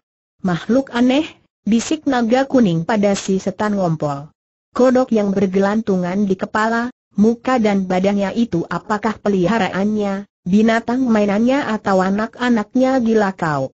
Mana ada orang beranak kodok tukasi setan ngompol sambil pegangi dadanya yang masih mendenyut sakit akibat jotosan si penolong Budiman tadi.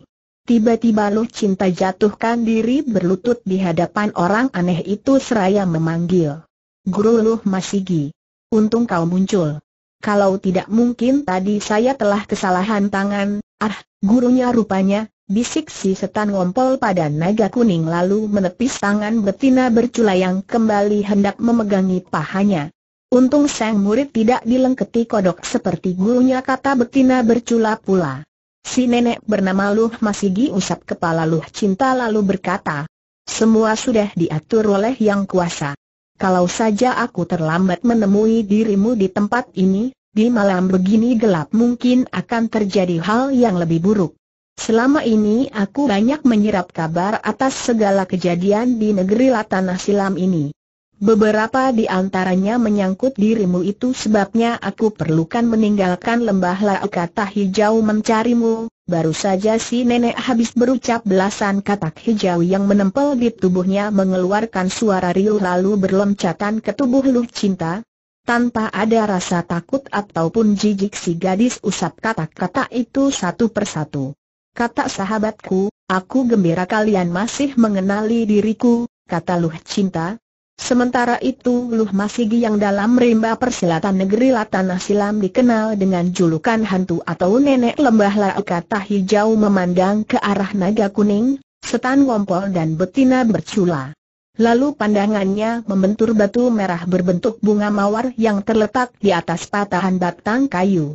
Dengan cepat si nenek mengambil benda itu, memperhatikannya beberapa saat lalu berkata, Luh cinta, Bukankah bunga mawar batu merah ini milikmu? Mengapa berada di atas patahan batang kayu ada orang berusaha mencurinya nek? Ketika didesak benda itu dikembalikannya, diletakkannya di atas pohon itu, orang yang katamu mencuri benda ini, apakah dia yang tadi hendak kau habisi tanya si nenek. Sebetulnya walau hati saya sangat marah dan kecewa, saya tidak berniat sungguhan membunuhnya. Saya hanya ingin memberi pelajaran, aku gembira mendengar kata-katamu itu luh cinta. Pertanda pelajaran kasih sayang yang aku tanamkan padamu masih ada di lubuk hatimu, saya selalu berusaha menempatkan kasih dalam setiap jalan kehidupan saya.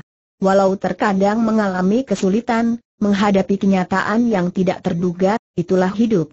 Semua tidak mungkin sejalan dengan keinginan kita. Kita menginginkan kebaikan, yang datang angkara murka. Muridku, kau masih ingat riwayat batu ini seperti yang diceritakan nenekmu hantu penjunjung roh saya masih ingat guru. Bukankah batu ini diberikan oleh nenek kepada ibu saya untuk hiasan rambutnya ketika dia masih gadis remaja seperti saya ujar luh cinta? Karena sangat berharganya batu bunga mawar inilah maka saya sampai hendak menurunkan tangan jahat pada orang bermuka tanah liat itu. Karena dia hendak mencuri batu mawar merah itu, makhluk berjubah hitam. Mukanya dilapisi dengan tanah liat. Diberi jelaga hitam. Mengapa dia melakukan hal itu? Mengapa dia mencuri mawar batu merah ini dari tanganmu? Adakah kau sempat memikir dan menyelidiki wahai muridku maafkan saya Nek. Hal itu memang belum saya lakukan. Yang saya tahu mawar dari batu merah itu sangat berharga bagi saya, tapi tidak bagi orang lain, belum tentu. Jika batu mawar merah ini tidak berharga bagi orang lain, makhluk bermuka tanah liat itu tidak akan mencurinya dari tanganmu. Lalu jika dia benar-benar berniat jahat hendak menguasai batu ini, mengapa kemudian dia mengembalikannya padamu? Agaknya ada sesuatu di balik semua perbuatannya itu, saya tidak tahu nek, muridku loh cinta, apa menurutmu tiga orang aneh ini pantas mendengar semua percakapan kita si nenek goyangkan kepalanya ke arah naga kuning, setan ngompol dan betina bercula. Lu cinta pandangi ketiga orang itu, mereka sahabat-sahabat saya nek. Tidak jadi apa kalau mereka mendengar pembicaraan kita. Malah sebagian riwayat saya mereka sudah mengetahui, begitu si nenek manggut-manggut naga kuning yang suka bicara usil tiba-tiba membuka mulut nenek yang kepala dan muka serta tubuhnya ketutupan kodok, kau menyebut kami bertiga aneh. Apa anehnya dari kami ini hantu lembah lau kata hijau berpaling pada naga kuning. Dia pandangi bocah itu sesaat lalu sambil tersenyum dia menjawab, aku mulai dengan kakek kawanmu itu, si nenek menunjuk ke arah setan ngompol. Ku katakan aneh karena telinganya sebelah kanan kulihat terbalik. Hik, hik. Bagiku itu aneh, entah bagi orang lain. Lalu, dari sini saja aku bisa mencium bau pesing di tubuhnya. Bayi kencing aku tidak heran, kalau sudah tua bangka masih ngompol apa tidak aneh? Hik, hik, hik setan ngompol gelikan mata. Tapi dia tidak marah malah tertawa gelak-gelak menimpali cekikikan si nenek. Itu keanehan sahabat musik kakek mata lebar dan juling itu? Sekarang sobatmu yang kedua. Jelas dia laki-laki asli. Tapi mengapa berpakaian dan berdandan serta bersikap seperti perempuan? Padahal otaknya tidak miring. Apa itu tidak aneh namanya kini giliran betina bercula yang beliakan mata. Tapi dia juga tidak marah malah sambil senyum-senyum dia berkata. Kau memang tidak tahu Nek. Di mata manusia wajar lelaki berdandan adalah lebih menarik daripada perempuan ditempeli katak hijau sepertimu. Hik, hik, hik. Apa kau punya suami Nek Wahai? Apa maksudmu menanyakan aku punya suami atau tidak tanya hantu lembah lah kata hijau heran tapi juga jengkel penasaran.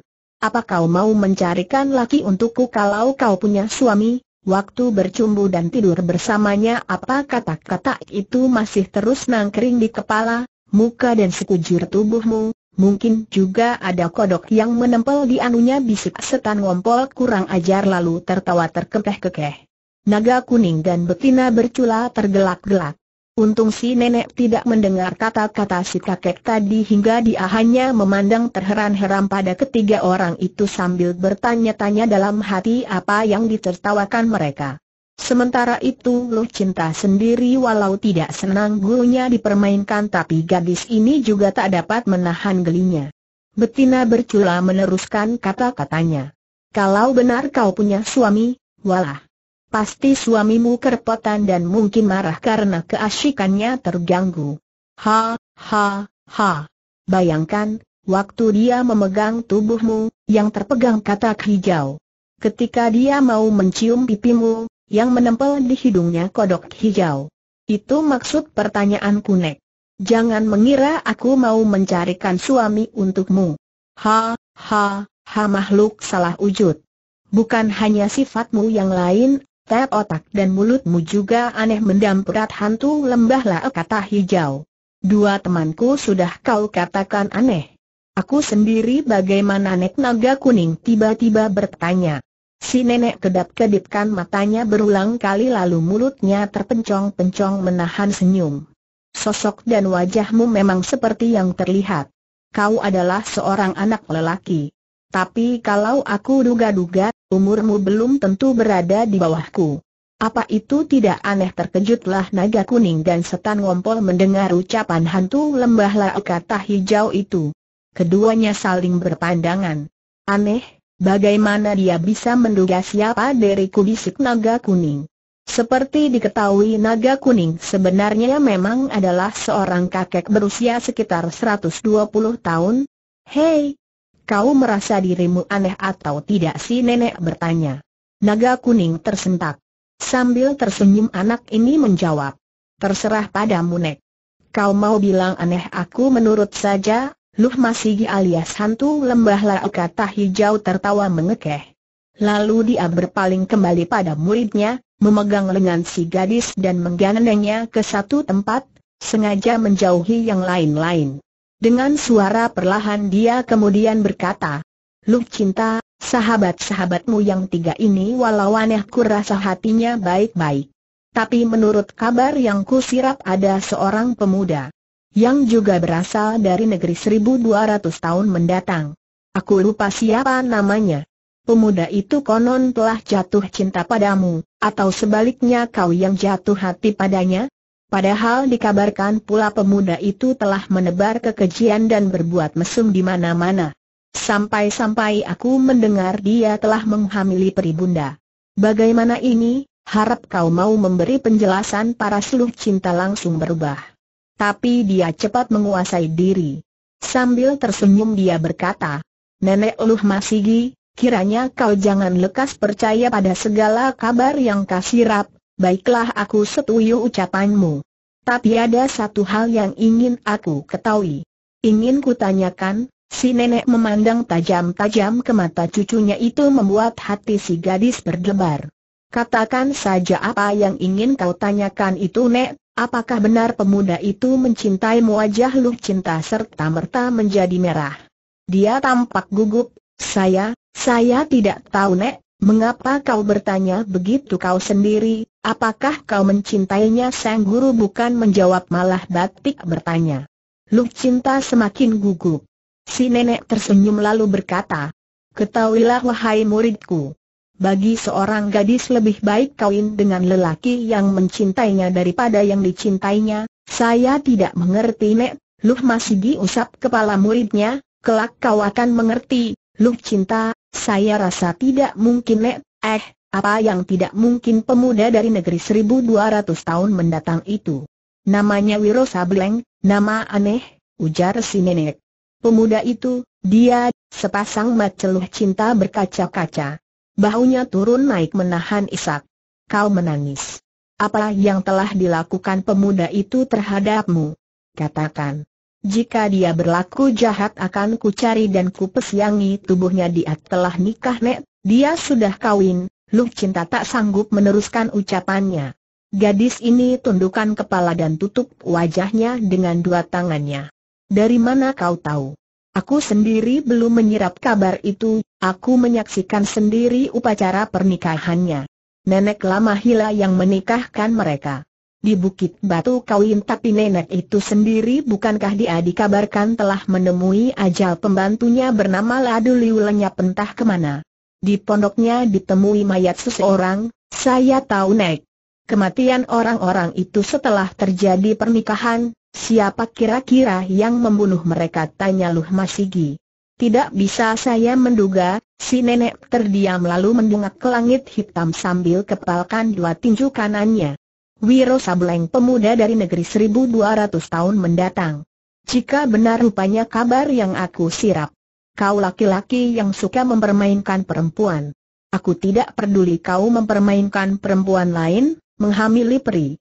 Tapi jangan berani mempermainkan muridku guru suara luh cinta tersendat dan wajahnya pucat aku tahu kau mencintai pemuda itu. Tadinya aku ingin mencarinya untuk mengatur hari perkawinanmu. Kini aku akan mencarinya untuk mengatur hari kematiannya Nek, jangan kau lakukan itu. Dia tidak punya salah apa-apa-apa kata mulu cinta. Aku tahu rahasia kasih sangat mendalam di hatimu. Tapi jangan rasa hati itu menutupi jalan pikiran sehatmu.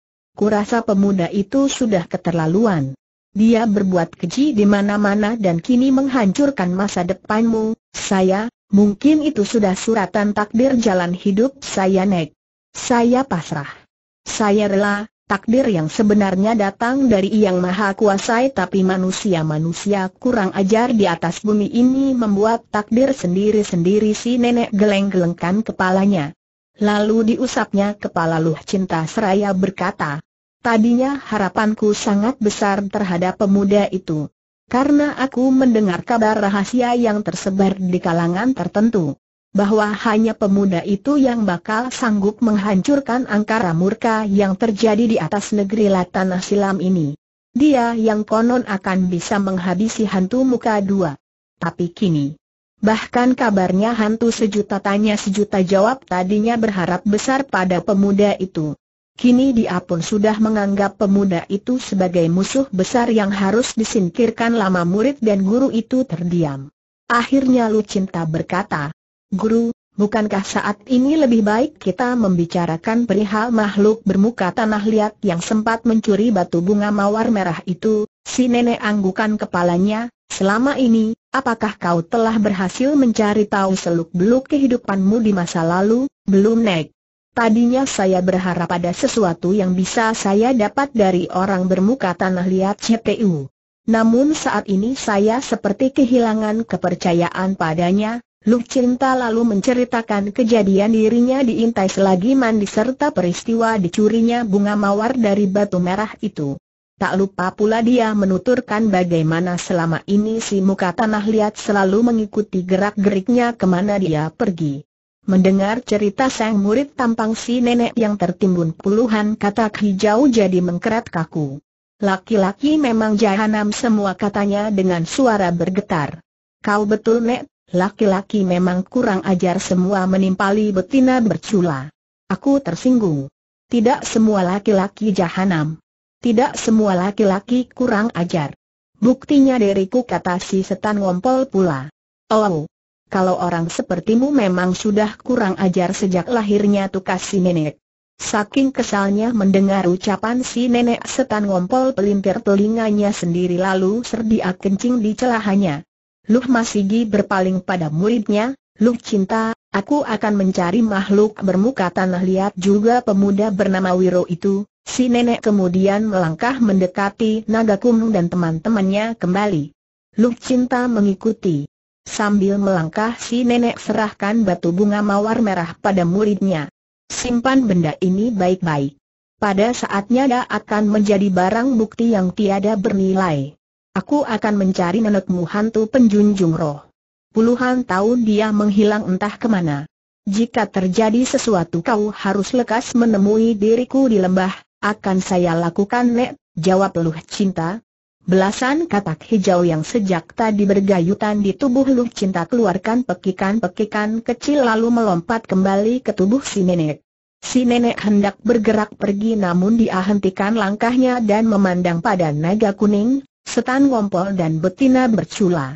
Jadi kalian bertiga sempat digebuk si muka tanah liat itu si nenek bertanya. Tiga orang yang ditanya sama menjawab dengan anggukan kepala. Bagaimana rasanya sekarang?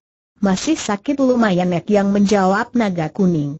Kalau begitu biar aku coba mengobati cedera kalian habis berkata begitu hantu lembah lah kata hijau ini tepukan tangannya tiga kali lalu berseru, anak-anakku. Periksa keadaan ketiga manusia-manusia aneh itu. Obati jika kalian mampu baru saja ucapan si nenek selesai, puluhan katak hijau yang menyelimuti kepala dan tubuhnya keluarkan suara riuh seperti mau merobek telinga. Sepuluh katak kemudian melompat ke pipi kanan betina bercula yang luka cedera akibat tamparan keras si penolong Budiman. Tentu saja orang ini menjerit kaget, juga ketakutan. Celaka rusak dan dananku hanya sebentar, sepuluh katak hijau tadi melompat berbalik ke tubuh si nenek. Betina usap-usap pipinya dan jadi terheran-heran. Rasa sakit lenyap, darah yang mengucur di sudut bibirnya yang pecah berhenti. Ah, betina bercula tersipu-sipu, terima kasih Nek.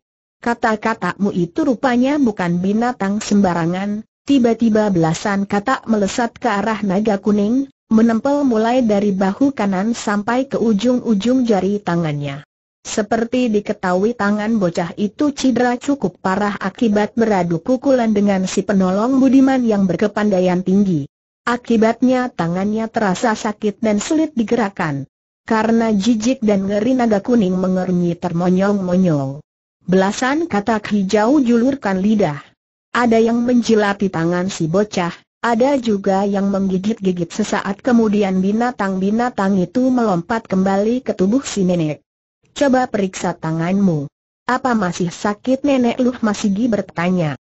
Naga kuning seperti tidak percaya rasa sakit di tangannya bukan saja lenyap tapi kini dia juga bisa menggerakkan tangan itu kembali. Langsung saja bocah ini membungkuk memberi penghormatan seraya mengucap terima kasih berulang kali. Si nenek menyeringai. Dia berpaling pada setan ngompol. Yang dipandang langsung besar terkencing. Karena dia tahu kini giliran dirinya yang akan dilompati kata-kata hijau itu. Nek, ku harap kau, setan ngompol yang paling parah cederanya ketakutan dan kencingnya mulai mengucur. Dia bergerak mundur beberapa langkah. Si nenek tertawa mengekeh. Anak-anak, Lekas kalian kerjain kakek aneh itu belasan katak hijau keluarkan suara nyaring lalu berlompatan ke arah si setan ngompol, bertempelan di bagian bawah perutnya sampai ke celah paha. Ser setan ngompol pancarkan air kencingnya. Tubuhnya berjingkrakan. Edan. Kurang ajar. Kata-kata celaka. Kenapa menempel di selangkanganku? Bukan di bagian itu tubuhku yang cedera. Tapi di dada waduh celaka. Kalau sampai anu si kakek digigit kakak pasti gerlaak. Bisa-bisa putus berteriak naga kuning tapi sambil mesem-mesem. Hantu lembah lah kata hijau tertawa terpingkal-pingkal. Anak-anak, jangan mempermainkan orang si nenek berseru. Belasan kata yang menempel di bawah perut setan ngompol keluarkan suara riuh lalu melompat, berpindah ke dada si kakek. Karena memang di bagian itu sebelumnya jotosan si penolong Budiman menghantamnya dengan telak hingga dia muntahkan darah segar. Ketika kata-kata itu mulai menjilat dan menggigit, si kakek tersentak-sentak dan terkencing-kencing. Hai! Aduh! Hentikan! Jangan tak berapa lama kemudian seperti tadi kata-kata itu kembali melompat ke tubuh setan si nenek. Si setan ngompol sendiri saat itu sudah jatuh terduduk di tanah. Dia luruskan tubuhnya lalu menghela nafas panjang. Sebelumnya dadanya terasa sakit jika dia menarik nafas begitu. Tapi kini rasa sakit itu lenyap. Dipegangnya dadanya yang bekas kena jotosan. Ditekan-tekannya. Aneh, kata si kakek sambil pandangi Luh Masigi dengan matanya yang besar jereng. Luka dalamku seperti sembuh. Aku tidak merasa apa-apa lagi, Perlahan-lahan setan ngompol bangkit berdiri. Dia hendak membungkuk, maksudnya mau menghormat sambil mengucapkan terima kasih. Tapi kakinya terpeleset di tanah licin bekas guyuran air kencingnya sendiri. Tak ampun tubuhnya terjatuh ke depan, ke arah Luh Masigi. Agar tidak terjerembab setan ngompol berusaha mengganduli pinggang si nenek. Makhluk kurang ajar. Kau mau berbuat apa padaku teriak guru luh cinta itu. Dorongan setan ngompol membuat dia kehilangan keseimbangan. Akibatnya dua kakek nenek ini sama-sama jatuh di tanah. Si nenek tertelentang sementara si kakek tepat menindih dari atas. Wajah mereka saling beradu. Bibir setan ngompol melekat tepat di bibir si nenek. Luh cinta, naga kuning dan betina bercula tak dapat menahan tawa. Benar-benar kurang ajar Luh masih gimarah besar. Tangan kirinya mengusap-usap bibirnya. Tangan kanannya tiba-tiba digerakkan ke arah setan ngompol. Si kakek terpelanting ke samping. Sebelum kakek itu bangkit berdiri, si nenek sudah menghambur tinggalkan tempat itu. Kau memang kakek kurang ajar kata betina bercula. Kau mempergunakan kesempatan dalam kenikmatan ujar naga kuning. Bagaimana rasanya mengecup bibir nenek tadi ke El Hik, Hik kalian setan semua. Jangan menyangka yang tidak-tidak. Aku tidak mengecup bibirnya, kata setan ngompol, matanya yang lebar bertambah besar. Ah, nenek itu pasti tidak akan melupakan kecupanmu tadi kek. Mungkin itu cuman pertama dalam kehidupannya, kata betina bercula pula lalu tertawa panjang. Betina sialan, rutuk setan ngompol sambil usap bibirnya. Dia merasa ada cairan hangat ketika tangannya diperhatikan ada noda merah. Astaga! Bibirmu berdarah kek seru naga kuning. Pasti tadi digigit si nenek. Wahai, rupanya besar juga hasrat nenek itu terhadapmu sampai menggigit segala kata betina bercula pula. Mending kalau si nenek yang bernafsu menggigit. Jangan-jangan kata-kata hijau itu yang menggigit kata naga kuning lalu tertawa gelak-gelak tujuh sosok hantu sejuta tanya sejuta jawab yang tergeletak tak jauh dari tepian telaga tampak bergerak. Dari mulutnya keluar suara mengerang saat itu memasuki dini hari. Keadaan sekitar telaga gelap pekat dan udara dingin mencucuk sekujur tubuhnya. Perlahan-lahan orang tua yang otaknya berada di luar batok kepala ini membuka sepasang matanya. Mula-mula dia hanya melihat kegelapan menghitam. Kemudian dia mulai mengenali apa yang ada di atasnya. Langit kelam. Di mana aku ini, apa yang terjadi dengan diriku hantu sejuta tanya sejuta jawab gerakan tubuhnya, berusaha bangkit sesaat dia terduduk di tanah, memandang berkeliling. Ada telaga di sebelah sana, ada batu-batu hancur, lalu pandangannya ditujukan pada dirinya sendiri. Dia menjadi kaget ketika melihat jubah putihnya berubah kuning. Bukan cuma jubah, tangan dan kakinya juga berwarna kuning. Kakek ini mengusap wajahnya berulang kali. Walau tidak melihat, tapi aku yakin wajahku saat ini pasti juga berwarna kuning. Apa yang terjadi dia coba mengingat-ingat. Selagi kesadarannya belum pulih keseluruhan tiba-tiba ada satu bayangan putih dilihatnya di seberang telaga sebelah timur. Bayangan itu bergerak cepat sekali seolah melayang di atas air telaga. Makhluk apa gerangan, pikir hantu sejuta tanya sejuta jawab. Dia berusaha bangkit berdiri namun sosok putih tadi tahu-tahu sudah berada di hadapannya. Kagetnya si kakek bukan kepalang karena ternyata yang tegak di hadapannya adalah seorang gadis cantik luar biasa. Wajahnya yang bulat berseri-seri laksana bulan purnama 14 hari. Rambutnya panjang tergerai hitam lepas sampai ke pinggang. Tubuhnya yang tinggi langsing mengenakan sehelai pakaian putih panjang menjela tanah. Hantu sejuta tanya sejuta jawab pusap dua matanya berulang kali lalu bertanya gagap. Kau, siapa? Pri atau orang tua bernama hantu sejuta tanya sejuta jawab. Dengar baik-baik apa yang akan aku ucapkan. Aku hanya akan bicara satu kali. Jika kau mau mengerti maka kau akan selamat, jika kau tidak mau mengerti maka kelak melapetaka akan jatuh atas dirimu seperti yang terjadi atas diri dua cucumu malapetaka. Seperti yang terjadi atas diri dua cucuku? Apa maksudmu? Siapa kau teriak hantu sejuta tanya sejuta jawab lalu dengan satu gerakan kilat dia melompat berdiri. Namun belum sempat dua kakinya menginjak tanah tiba-tiba gadis jelita berpakaian serba putih gerakan tangan kanannya. Wut serangkum angin menghantam dahsyat sosok hantu sejuta tanya sejuta jawab terpelanting lalu jatuh duduk di tanah. Seperti diketahui kakek merupakan salah seorang tokoh paling disegani di negeri Latana Silam dan memiliki kepandaian luar biasa. Namun jika si gadis sanggup merobohkannya dengan satu kali bergerak saja jelas bahwa gadis cantik itu juga bukan orang sembarangan. Si kakek terhenyak di tanah dengan muka pucat dua cucumu. Luh Kemboja dan Luh Kenanga ditimpa melapetaka dan aib besar. Seseorang telah mencelakainya sehingga dua gadis itu mempunyai kelainan. Tidak suka pada laki-laki hanya senang dan bergairah pada sesama jenis. Tidak mengherankan kalau kemudian mereka gentayangan kian kemari, menculik gadis dan perempuan-perempuan muda untuk melampiaskan nafsu bejat dan sesat mereka. Salah satu korbannya adalah seorang darab bernama Luh Jelita. Namun kemudian mereka memfitnah bahwa pemuda asing bernama Wiro Sablenglah yang telah merusak kehormatan Luh Jelita. Kejahatan dua cucumu yang mengalami kelainan lahir dan batin itu tidak sampai di sana.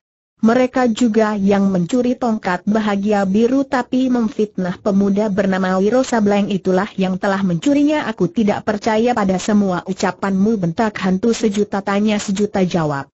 Saat ini kau tak perlu percaya. Kau cuma perlu mendengar apa yang aku ucapkan menghardik gadis berpakaian putih panjang justru Wiro Sableng itulah yang telah berbuat biadab. Memperkosa dua cucu Wiro Sableng tidak melakukan kekejian itu. Dia menjadi korban fitnah semata. Di balik semua ini hantu muka dualah yang mengatur dan punya keperluan. Dia marah besar dan menanam dendam karena kau merampas sendok pemasang nasib dari tangannya. Dia yang telah merusak kehormatan dua cucumu lalu menyuruh orang-orang mengirimkan dua gadis itu dalam keadaan sekarat ke tempatmu sepasang meto hantu sejuta tanya sejuta jawab membesar memandang tajam ke wajah gadis jelita yang tegak di hadapannya. Tubuhnya bergetar. Dua tangannya terkepal. Kepalanya digelengkan. Aku tidak bisa mempercayai begitu saja semua ucapanmu. Aku tidak tahu kau ini siapa sebenarnya. Jangan-jangan hantu muka dua yang sengaja bersalin rupa untuk menipu dan menghasutku. Gadis jelita berpakaian putih yang bukan lain adalah Lulam Bulan, penjelmaan hantu santet laknat goyangkan kepalanya. Rambutnya yang panjang melesat ke samping membuat gerakan melingkar, menebar bau harum semerbak. Sambaran angin yang keluar dari rambut ini membuat rontok daun-daun pepohonan di sekitar situ. Lalu si gadis mendengak ke langit dan tertawa panjang. Hantu sejuta tanya sejuta jawab, sebelum aku pergi dengar baik-baik apa yang akan aku katakan. Jangan sekali-kali kau berani mengganggu pemuda asing bernama Wiro Sableng itu. Bahkan jangan sampai ada perasaan atau pikiran jahat terhadapnya. Jika kau melanggar apa yang aku ucapkan saat dini hari ini, kelak kau akan mendapat malapetaka dan menyesal sampai ke liang kubur begitu. Hem, apa hubunganmu dengan pemuda itu? Kau seperti melindunginya sekaligus mengancamku si kakek bangkit berdiri. Namun gadis jelita itu telah berkelebat pergi tanpa berikan jawaban. Hah hantu sejuta tanya sejuta jawab memandang berkeliling. Mengusap mukanya berulang kali. Menggosok matanya sampai dia merasa kepedasan sendiri, Ke mana lenyapnya makhluk tadi? Jangan-jangan aku barusan hanya bermimpi. Orang tua ini menghela nafas dalam lalu sambil geleng-gelengkan kepaya dia melangkah menuju telaga. Aku perlu mandi mendinginkan tubuh dan kepalaku. Aku bermimpi. Hanya mimpi perlu apa dipikirkan, di tepi telaga hantu sejuta tanya sejuta jawab siap menanggalkan jubah putihnya. Tapi tiba-tiba ada suara sesuatu seperti sayap besar mengepak di udara. Dia cepat membalik. Saat itu sebuah benda besar kecoklatan melayang rendah di antara pepohonan lalu mendarat di tanah di hadapan si kakek, ternyata benda ini adalah kura-kura raksasa bersayap lebar. Dan di atas punggung kura-kura terbang ini melompat turun seorang darah berpakaian ungu, berambut digulung ke atas dan berwajah cantik menawan. Sikapnya anggun ketika tegak berdiri berkacak pinggang memandang pada hantu sejuta tanya sejuta jawab. Hantu sejuta tanya sejuta jawab yang sudah kenal siapa gadis ini memandang dengan wajah sinis karena dia tahu, sesuai kabar yang disirapnya di masa lalu, gadis ini adalah kekasih hantu muka dua hanya dalam hati si kakek bertanya-tanya sudah sejak berapa lama gadis itu berada di sekitar telaga. Mungkin juga telah melihat kemunculan gadis berpakaian putih panjang tadi. Aku mau membersihkan diri di telaga. Harap kau yang perempuan segera meninggalkan tempat ini hantu sejuta tanya sejuta jawab berkata. Wahai! Masih gelap gurta dan sedingin ini. Kau hendak menceburkan diri mandi di dalam telaga. Pasti tubuh dan pikiranmu diselimuti hawa panas. Apakah ucapan gadis berpakaian putih itu yang membuatmu panas kelangsangan luh jelita? Sudah berapa lama kau berada di sekitar sini? Tanya si kakek. Cukup lama. Aku sempat mendengar semua pembicaraan kalian, jawab si gadis. Hantu sejuta tanya sejuta jawab terkejut berarti aku tadi tidak mimpi. Gadis ini ikut melihat kehadiran gadis berpakaian putih itu kata hantu sejuta tanya sejuta jawab dalam hati. Setahuku kau adalah kekasih hantu muka dua. Kehadiranmu di sini pasti tengah memata-matai dari kuluh jelita tertawa gelak-gelak, sebagai orang yang jauh lebih tua dariku seharusnya kau tahu. Dalam hidup seseorang bergaul dengan yang baik dan yang jahat adalah satu kewajaran selama orang itu bisa membatasi diri, aku mengerti, kau memang bisa membatasi diri. Hingga dalam hubunganmu dengan hantu muka dua tidak sampai hamil. Seperti yang dialami peribunda yang hamil akibat hubungan gelapnya dengan Wiro Sableng berubah para seluruh jelita mendengar kata-kata si kakek, aku tidak percaya mendengar orang sepertimu bisa berucap seperti itu. Rupanya benar kabar yang aku sirap. Kemampuan dan kesaktianmu telah mulai pudar akibat kau terlalu jauh menuruti perasaan hati daripada pikiran sehat. Jangan berani bicara kurang ajar padaku bentak hantu sejuta tanya sejuta jawab. Orang tua, aku tidak bicara kurang ajar. Aku hanya mengucapkan kenyataan. Jika selama ini tidak banyak berbuat menyimpang, kau tidak bakal sengsara seperti yang kau alami saat ini gadis celaka. Katakan apa maumu mendatangi aku di tempat ini gadis berpakaian serba putih tadi apakah kau mengenal siapa dirinya tanya Luh Jelita. Aku tidak tahu siapa dia. Tidak pernah kenal sebelumnya dan aku tidak memikirkan dirinya lagi. Persetan apa kau juga tidak memikirkan apa yang diucapkannya kau yang harus memikirkan sentak si kakek bukankah kau juga telah berselingkuh berbuat mesum dengan pemuda asing itu? Jangan kau berdusta. Karena kedua cucuku sendiri yang menceritakan padaku. Mereka melihat apa yang kau lakukan di sebuah goa hem, begitu. Jadi mereka rupanya yang jadi biang racun penyebar fitnah. Padahal tadinya aku menyangka Wiro yang jadi biang racun. Bagus hantu sejuta tanya sejuta jawab.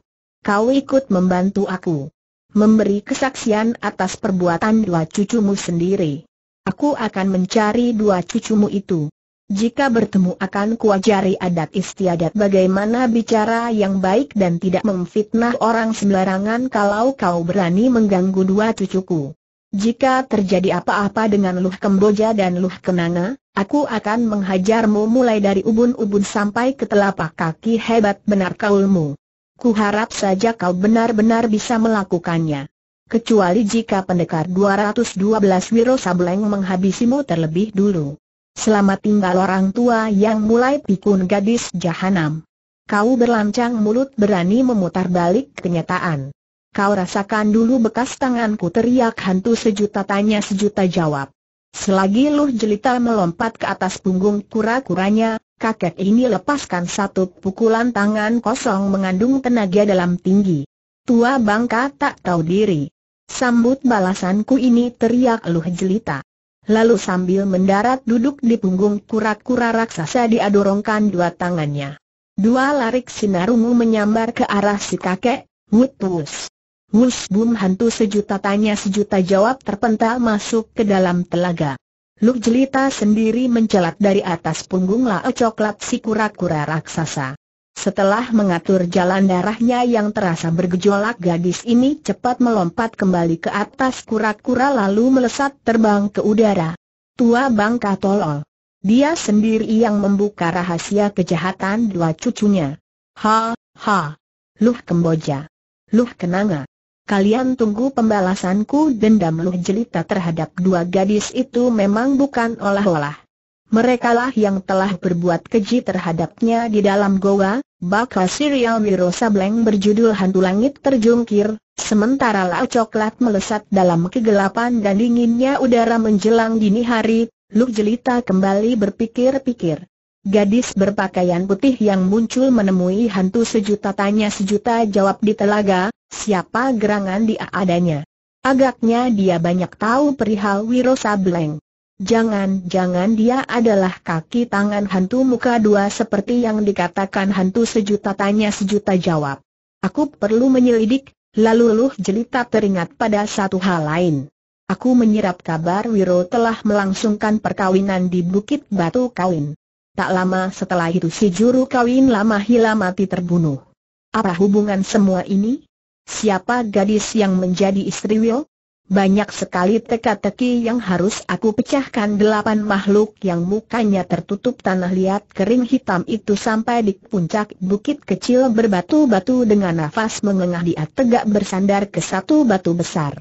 Di sini dia membuka bagian atas jubah hitamnya. Begitu dadanya telanjang kelihatan bahu kirinya bengkak kemerahan.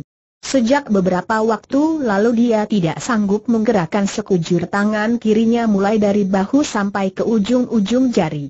Rasa sakit mendera hampir tak tertahankan. Itulah bekas dan akibat pukulan tangan Dewa Merajam Bumi yang dilepaskan Luh Cinta sewaktu terjadi perkelahian di tepi telaga gadis secantik itu, tidak disangka memiliki pukulan bigen ganas. Berkali-kali aku mengerahkan tenaga dalam dan mengatur jalan darah. Tapi cedera ini seperti tak mau sembuh. Sekarang tubuhku terasa panas. Mungkin sekali pukulan ini mengandung racun jahat. Kalau saja pukulannya lebih ke sebelah tengah, mungkin jantungku sudah ambruk dan saat ini aku sudah berada di alam roh. Aku tak takut mati. Tapi kalau aku sampai menemui ajal sebelum dapat menyingkap rahasia hidup ini, aku akan mati penasaran dan tidak tenteram di liang kubur si penolong Budiman menghela nafas panjang. Dia kembali kerahkan tenaga dalamnya ke bahu kiri. Dari puncak bukit batu itu dia memandang ke bawah, nenek sakti itu. Gerakannya cepat luar biasa. Aku kehilangan jejak. Bagaimana mencarinya? Seperti diceritakan sebelumnya setelah terkena hantaman pukulan tangan Dewa merajam bumi, si penolong Budiman melarikan diri. Namun setengah jalan satu pikiran muncul dalam benaknya. Dari berbagai penyelidikan yang dilakukannya terhadap Luh Cinta, satu di antaranya dia mengetahui bahwa gadis itu mempunyai seorang guru, yakni seorang nenek sakti bernama Hantu Lembah La Kata Hijau. Tadi sebelum lari, Sekilas dia melihat sosok orang yang menolongnya itu ditutupi ratusan katak hijau. Bukan mustahil nenek ini adalah guru si gadis. Dalam keadaan cedera begitu rupa si penolong Budiman akhirnya memutuskan untuk kembali ke telaga. Dia bermaksud menyelidik. Siapa tahu kali ini jerih payahnya mendatangkan hasil tak terduga. Gelapnya malam sangat menolong si penolong Budiman hingga tanpa diketahui orang-orang yang ada di tepi telaga dia berhasil menyelinap dia bersembunyi di balik serumpun semak belukar lebat. Hanya sayangnya si penolong Budiman sampai di telaga kembali ketika Luh Masigi menolong naga kuning, setan ngompol dan betina bercula. Jadi dia tidak sempat mendengar pembicaraan-pembicaraan sangat penting antara Luh Cinta dan gurunya itu. Begitu Luh Masigi alias hantu lembah lah kata hijau berkelebat pergi, sesaat si penolong Budiman menjadi bimbang. Apakah dia akan menguntit Luh Masigi atau mengikuti Luh Cinta? Akhirnya orang ini memutuskan mengikuti si nenek namun gerakan lari si nenek ternyata sebat luar biasa. Apalagi si penolong Budiman berada dalam keadaan cedera bahu kirinya. Setelah menguntit cukup jauh di kaki bukit batu si penolong Budiman kehilangan jejak si nenek. Setahuku nenek itu tinggal di sebuah lembah. Ada banyak lembah di kaki bukit itu. Dulu aku pernah mendatangi kawasan ini, tapi selalu tersesat selagi berada dalam kebingungan seperti itu tiba-tiba makhluk muka tanah liat ini melihat satu bayangan bergerak di depannya. Cepat dia mendekam merapatkan diri ke batu. Dalam jarak lima tombak, di gelapnya malam si penolong Budiman melihat satu sosok aneh berlari tak terlalu cepat ke arah kiri. Ketika dalam jarak lima tombak dia melihat jelas wujud orang yang lewat itu kejut si penolong Budiman bukan alang kepalang. Jika ada halilintar menyambar di hadapannya atau saat itu ada setan kepala tujuh tangan dua belas muncul hendak mencekiknya, mungkin tidak sedemikian kagetnya makhluk bermuka tanah liat ini. Sekujur badannya menggigil bergeletar. Dua matanya terbeliak dadanya mendadak menyesak. Dia seperti hendak berteriak, tapi mulutnya seolah mendadak kaku. Yang lewat ternyata seorang nenek yang di atas kepalanya ada segulung asap merah berbentuk kerucut terbalik. Dua bola matanya menjorok keluar, juga berbentuk kerucut merah yang bisa memendek bisa memanjang. Wahai yang maha kuasa! Terima sujud terima kasihku kau temukan juga aku akhirnya dengan dia. Bunda. Makhluk aneh itu lewat di samping batu di mana si penolong Budiman mendekam. Bunda si penolong Budiman merasa sepertinya dia telah berteriak keras. Tapi tak sedikit pun suara keluar dari mulutnya. Ketika nenek tadi mulai samar-samar di kejauhan dalam kegelapan malam, makhluk muka tanah liat segera bergerak mengejar. Namun aneh, Bagaimanapun kencangnya dia berlari, dia tak sanggup mendekati si nenek. Jarak mereka senantiasa terpisah sejauh 10 sampai 12 tombak. Air mata mengucur di pipi berlapis tanah liat hitam. Si penolong Budiman berlari mengikuti nenek di sebelah depannya sambil menangis. Bunda, bunda luh nik-nik, berbilang hari berbilang minggu, belasan pumama dan tahun berganti tahun aku mencarimu. Kau seolah-olah raib dari negeri Latana Silam ini. Aku sampai menduga yang tidak baik. Mengira kau sengaja melenyapkan diri karena tak sanggup menahan malu akibat apa yang terjadi dengan diriku dan Luh Piranti. Bunda, maafkan diriku ini. Aku menyusun sepuluh jari di atas kepala. Mohon ampun padamu wahai bunda, si penolong Budiman terus saja mengikuti orang di depannya. Ternyata si nenek lari ke kaki bukit batu sebelah selatan. Ketika di kejauhan langit di sebelah timur tampak terang tanda fajar mulai menyingsing si nenek sampai di sebuah lembah di mana mengalir satu sungai kecil. Sungai kecil di lembah. Astaga, keadaan ini sesuai dengan petunjuk tempat kediaman hantu lembah lah kata hijau. Jangan-jangan, si penolong Budiman memandang berkeliling. Di mana-mana dia melihat ratusan, bahkan ribuan katak hijau mendekam. Di tanah, di batu, pada daun-daun dan pepohonan. Saat itu ingin sekali dia mendatangi nenek yang di kepalanya ada asap merah berbentuk kerucut ingin memeluk dan meratapinya. Namun di saat-saat begitu menegangkan bagi dirinya, dia masih kuasa menahan diri dalam ketabahan yang sulit bisa dipercayanya sendiri. Di depan sebuah goa nenek aneh itu tegak berkacak pinggang lalu berseru. Luh Masigi. Aku datang. Hari sudah mau siang. Apa kau masih enak-enakan melingkar tidur di dalam sana baru saja si nenek berteriak begitu tiba-tiba ratusan ekor katak berbagai ukuran keluarkan suara mengorek riuh dan melesat menempel di kepala, muka serta tubuhnya sampai ke kaki. Kata-kata sialan maki si nenek walau kuduknya jadi merinding. Luh Masigi.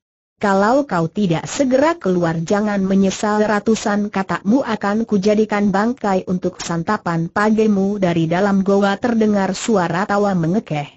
Sesaat kemudian muncullah sosok Luh Masigi alias hantu lembah la kata hijau. Dia tegak di mulut gua sambil kucak-kucak matanya. Tua bangka kurang ajar berjuluk hantu penjunjung Ron alias Luh Niknik. Puluhan tahun kau menghilang. Di lubang semut manakah sembunyi selama ini? Kini muncul luntung masih ku kenal. Tapi kurang ajarnya begitu datang ke tempat orang berteriak tidak karuhan. Aku baru saja kembali dari perjalanan jauh. Kau mengganggu ketenteramanku. Benar-benar makhluk tidak tahu adat. Luh nik-nik. Ada apa kau pagi-pagi buta datang ke tempatku Aku baru mau bicara kalau kau memerintahkan katak-katakmu angkat kaki dari kepala dan tubuhku Luh masih tertawa panjang. Lalu dia bertepuk tiga kali. Ratusan katak yang menempel di kepala, muka dan tubuh hantu penjunjung roh melompat kembali ke tempatnya masing-masing. Ratusan kataku sudah pergi. Sekarang katakan apa keperluanmu hai Luh Niknik ada tiga hal. Pertama menyangkut diri murid mulut cinta, tunggu, kau mau bicara di dalam atau, aku lebih suka bicara di sini daripada di dalam goamu yang penggap bau itu jawab si nenek yang ditanya. Bagus. Katakan ada apa dengan muridku Luh Cinta? Kau tahu, belum lama ini aku bertemu dengan dia, wahai, apakah keadaan cucuku itu baik-baik saja tanya Luh Niknik alias hantu penjunjung roh yang memang adalah nenek kandung Luh Cinta? Kau masih menyebutnya sebagai cucu. Tapi selama ini kau berbuat apa? Padahal begitu banyak kabar tersiar menyangkut gadis itu. Kau malah melenyapkan diri. Jangan pula berharap kau mau mencari tahu mencari jejak anakmu yang lelaki justru kehadiranku di tempatmu ini untuk membicarakan masalah itu, jadi jangan kau mengumpat tidak karuhan. Kau tahu kalau lu cinta menjalin cinta dengan seorang pemuda asing bernama Wiro Sableng. Anak itu tidak mengaku kalau dia mencintai pemuda itu. Juga tidak memberitahu kalau pemuda itu mencintainya. Tapi saat ini dia berada dalam satu kecewa besar. Aku khawatir kalau dia sampai patah hati dan memilih hidup sebatang kere sampai mati apa maksud muluh masih pemuda yang dicintainya itu kabarnya telah kawin dengan gadis lain kurang ajar.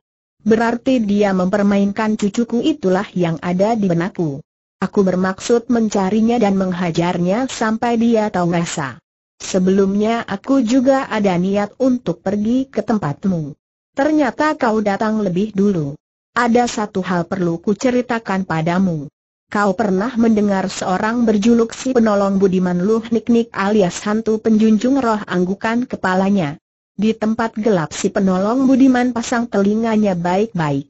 Luh masih dilanjutkan ucapannya. Si penolong Budiman diketahui telah sejak lama menguntik muridku. Ke mana-mana dia menanyakan tentang riwayat gadis itu. Namun terakhir kali dia berusaha mencuri bunga mawar merah dari batu milik Luh Cinta. Maksudmu bunga mawar batu hiasan rambut yang dulunya adalah milikku kemudian ku berikan pada Luh Piranti ibu gadis itu tanya hantu penjunjung roh. Benar, jawab Luh Masigi. Di tempat persembunyiannya, di dalam gelap mendadak si penolong Budiman merasakan dadanya berdebar keras ketika mendengar kata-kata hantu penjunjung roh. Kalau saja wajahnya tidak tertutup tanah liat maka akan terlihat bagaimana air mukanya berubah seputih kain kafan. Benda itu memang telah dikembalikan si penolong Budiman. Namun masih ada hal lain, tunggu dulu memotong hantu penjunjung roh. Apakah kau dan Luh Cinta ada menyelidik, mengapa si penolong Budiman mencuri bunga mawar dari batu itu? Benda itu tidak ada gunanya baginya, itulah. Wahai! Aku sudah memerintahkan Luh Cinta untuk mencari si penolong Budiman dan menyelidik. Tapi seperti kataku tadi ada satu hal lain yang membuat cucumu sangat marah terhadap si penolong Budiman. Ketika gadis itu sedang mandi di telaga, makhluk bermuka tanah liat itu diam-diam mengintipnya, kurang ajar. Aku akan cari makhluk kurang ajar itu. Aku akan hancurkan kepalanya sampai otaknya bertaburan. Dan kau harus perintahkan ratusan katakmu menyiangi tubuhnya hingga tinggal tulang belulang tak berguna hantu penjunjung roh marah sekali. Kemudian dengan suara perlahan dan bernada haru dia berkata, Heran, Nasib anak itu sejak lahir sampai dewasa begitu rupa tak kunjung hentinya dilanda kesulitan. Sampai saat ini ayahnya sendiri tidak diketahui di mana beradanya. Kalaupun kelak dia bisa bertemu apakah gadis itu akan cukup tabah menerima kenyataan bahwa ayahnya adalah kakak kandung ibunya sendiri di tempat persembunyiannya, si penolong Budiman tidak mampu lagi menahan gelora di dadanya yang seolah hendak meledakkan dirinya. Bibirnya digigitnya sampai berdarah. Lalu dia jatuhkan diri bersujud di tanah. Wahai yang kuasa, kuatkan hatiku. Rupanya benar semua dugaanku. Dugaan selama ini kini menjadi kenyataan. Wahai yang kuasa, tolong diriku. Tolong diri anakku. Beri aku petunjuk sekarang juga. Apa yang harus aku lakukan suara hati yang tidak dapat dikeluarkannya dari rongga dadanya itu akhirnya membersit dalam bentuk semburan isak tangis tak tertahankan lagi. Ketika Luh Masigi hendak bicara, Luh Niknik alias hantu penjunjung roh angkat tangan kanannya memberi isyarat. Telingaku menangkap ada suara seperti orang mengisak sepasang mata Luh Masigi bergerak berputar. Lalu nenek ini mengangguk. Dia menunjuk ke balik pohon besar dikelilingi semak belukar rendah. Datangnya dari arah pohon itu. Aku. Belum habis Luh Masigi alias hantu lembah lah kata hijau berucap, hantu penjunjung roh telah melesat, berkelebat ke balik pohon besar. Tak selang berapa lama sesosok tubuh berjubah hitam terlempar dan jatuh terbanting di depan goa, di hadapan Luh Masigi. Si nenek delikan matanya. Penolong Budiman. Kau benar, memang jayal kata hantu penjunjung roh yang kembali telah berada di depan goa dan memandang garang pada sosok yang tergelimpang di tanah sembilan sosok yang terkapar di tanah itu memang adalah makhluk bermuka tanah hati penolong Budiman. Ketika dia mencoba bangun, hantu penjunjung roh yang tadi mencekalnya di balik pohon lalu melemparkannya ke depan goa, segera injak dadanya hingga si penolong Budiman kembali terhantar tertelentang di tanah. Biarkan dia bangkit dan duduk di tanah. Aku ingin menanyainya kata hantu lembah lah kata hijau. Aku yakin dia sengaja menguntit aku sampai ke tempat ini. Pasti dia membekal maksud jahat. Bukankah lebih baik kita pecahkan saja kepalanya saat ini kata hantu penjunjung roh. Tangan kanannya diangkat sementara sepasang kerucut merah yang merupakan bola matanya bergerak mundur maju. Biarkan dia duduk. Kita tanyai dulu. Kalau dia tidak mau menjawab baru dihabisi hantu penjunjung roh angkat kakinya dari dada si penolong Budiman. Sekali jambak saja makhluk bermuka tanah liat ini dibuatnya bangkit berlutut di hadapan Luh Masigi. Makhluk bermuka tanah liat, benar kau telah mengikuti kerabatku sampai ke tempat ini mohon maafmu Nek. Saya, saya memang mengikutinya. Tapi tidak ada maksud jahat, tidak ada maksud jahat. Kurang ajar. Pintarnya kau berkelit. Kalau kau punya maksud baik mengapa menguntit secara diam-diam lalu sembunyi di balik pohon sana mendengarkan pembicaraan kami bentak hantu penjunjung roh. Maafkan saya Nek. Semua saya lakukan karena saya khawatir kalau-kalau saya sampai kesalahan menyelidik, menyelidik. Penyelidikan apa yang tengah kau lakukan, Selama ini aku mendengar kabar kau selalu menguntit muridku Loh Cinta dan kau mencuri barang miliknya. Juga mengintipnya mandi menyambung hantu penjunjung roh. Saya tidak ada niat jahat. Tidak bermaksud mencuri. Apalagi berbuat keji mengintip gadis itu mandi. Saya, pelaak tamparan hantu penjunjung roh membuat si penolong Budiman roboh pada sisi kirinya yang cedera hingga dia mengeluh kesakitan. Dengan susah payah dia berusaha bangkit dan kembali berlutut maafkan saya nek, kata si penolong Budiman sambil mengangkat tangan kanan ke atas kening dan mendukan kepala. Luh Masigi memperhatikan gerak-gerik si muka tanah liat ini. Ada yang tidak beres dengan tangan kiri orang ini, dia maju mendekat lalu beret dia jubah hitam si penolong Budiman di bagian bahu kiri hingga robek tersingkap. Si nenek perhatikan cedera bengkak kemerahan di bahu itu. Pukulan tangan dewa merajam bumi ujar si nenek dengan kening mengernyit, ternyata muridku sudah memberikan pelajaran baik padamu hah saya menerima semua hukuman apa pun yang dijatuhkan atas diri saya. Saya tidak takabur. Bahkan mati pun saya tidak takut. Asal saja semua apa yang saya selidiki bisa terjawab. Beban rahasia hidup ini sangat berat bagi saya. Saya tak kuasa menanggungnya lebih lama, katakan. Apa yang tengah kau selidiki sebenarnya membentak hantu penjunjung roh.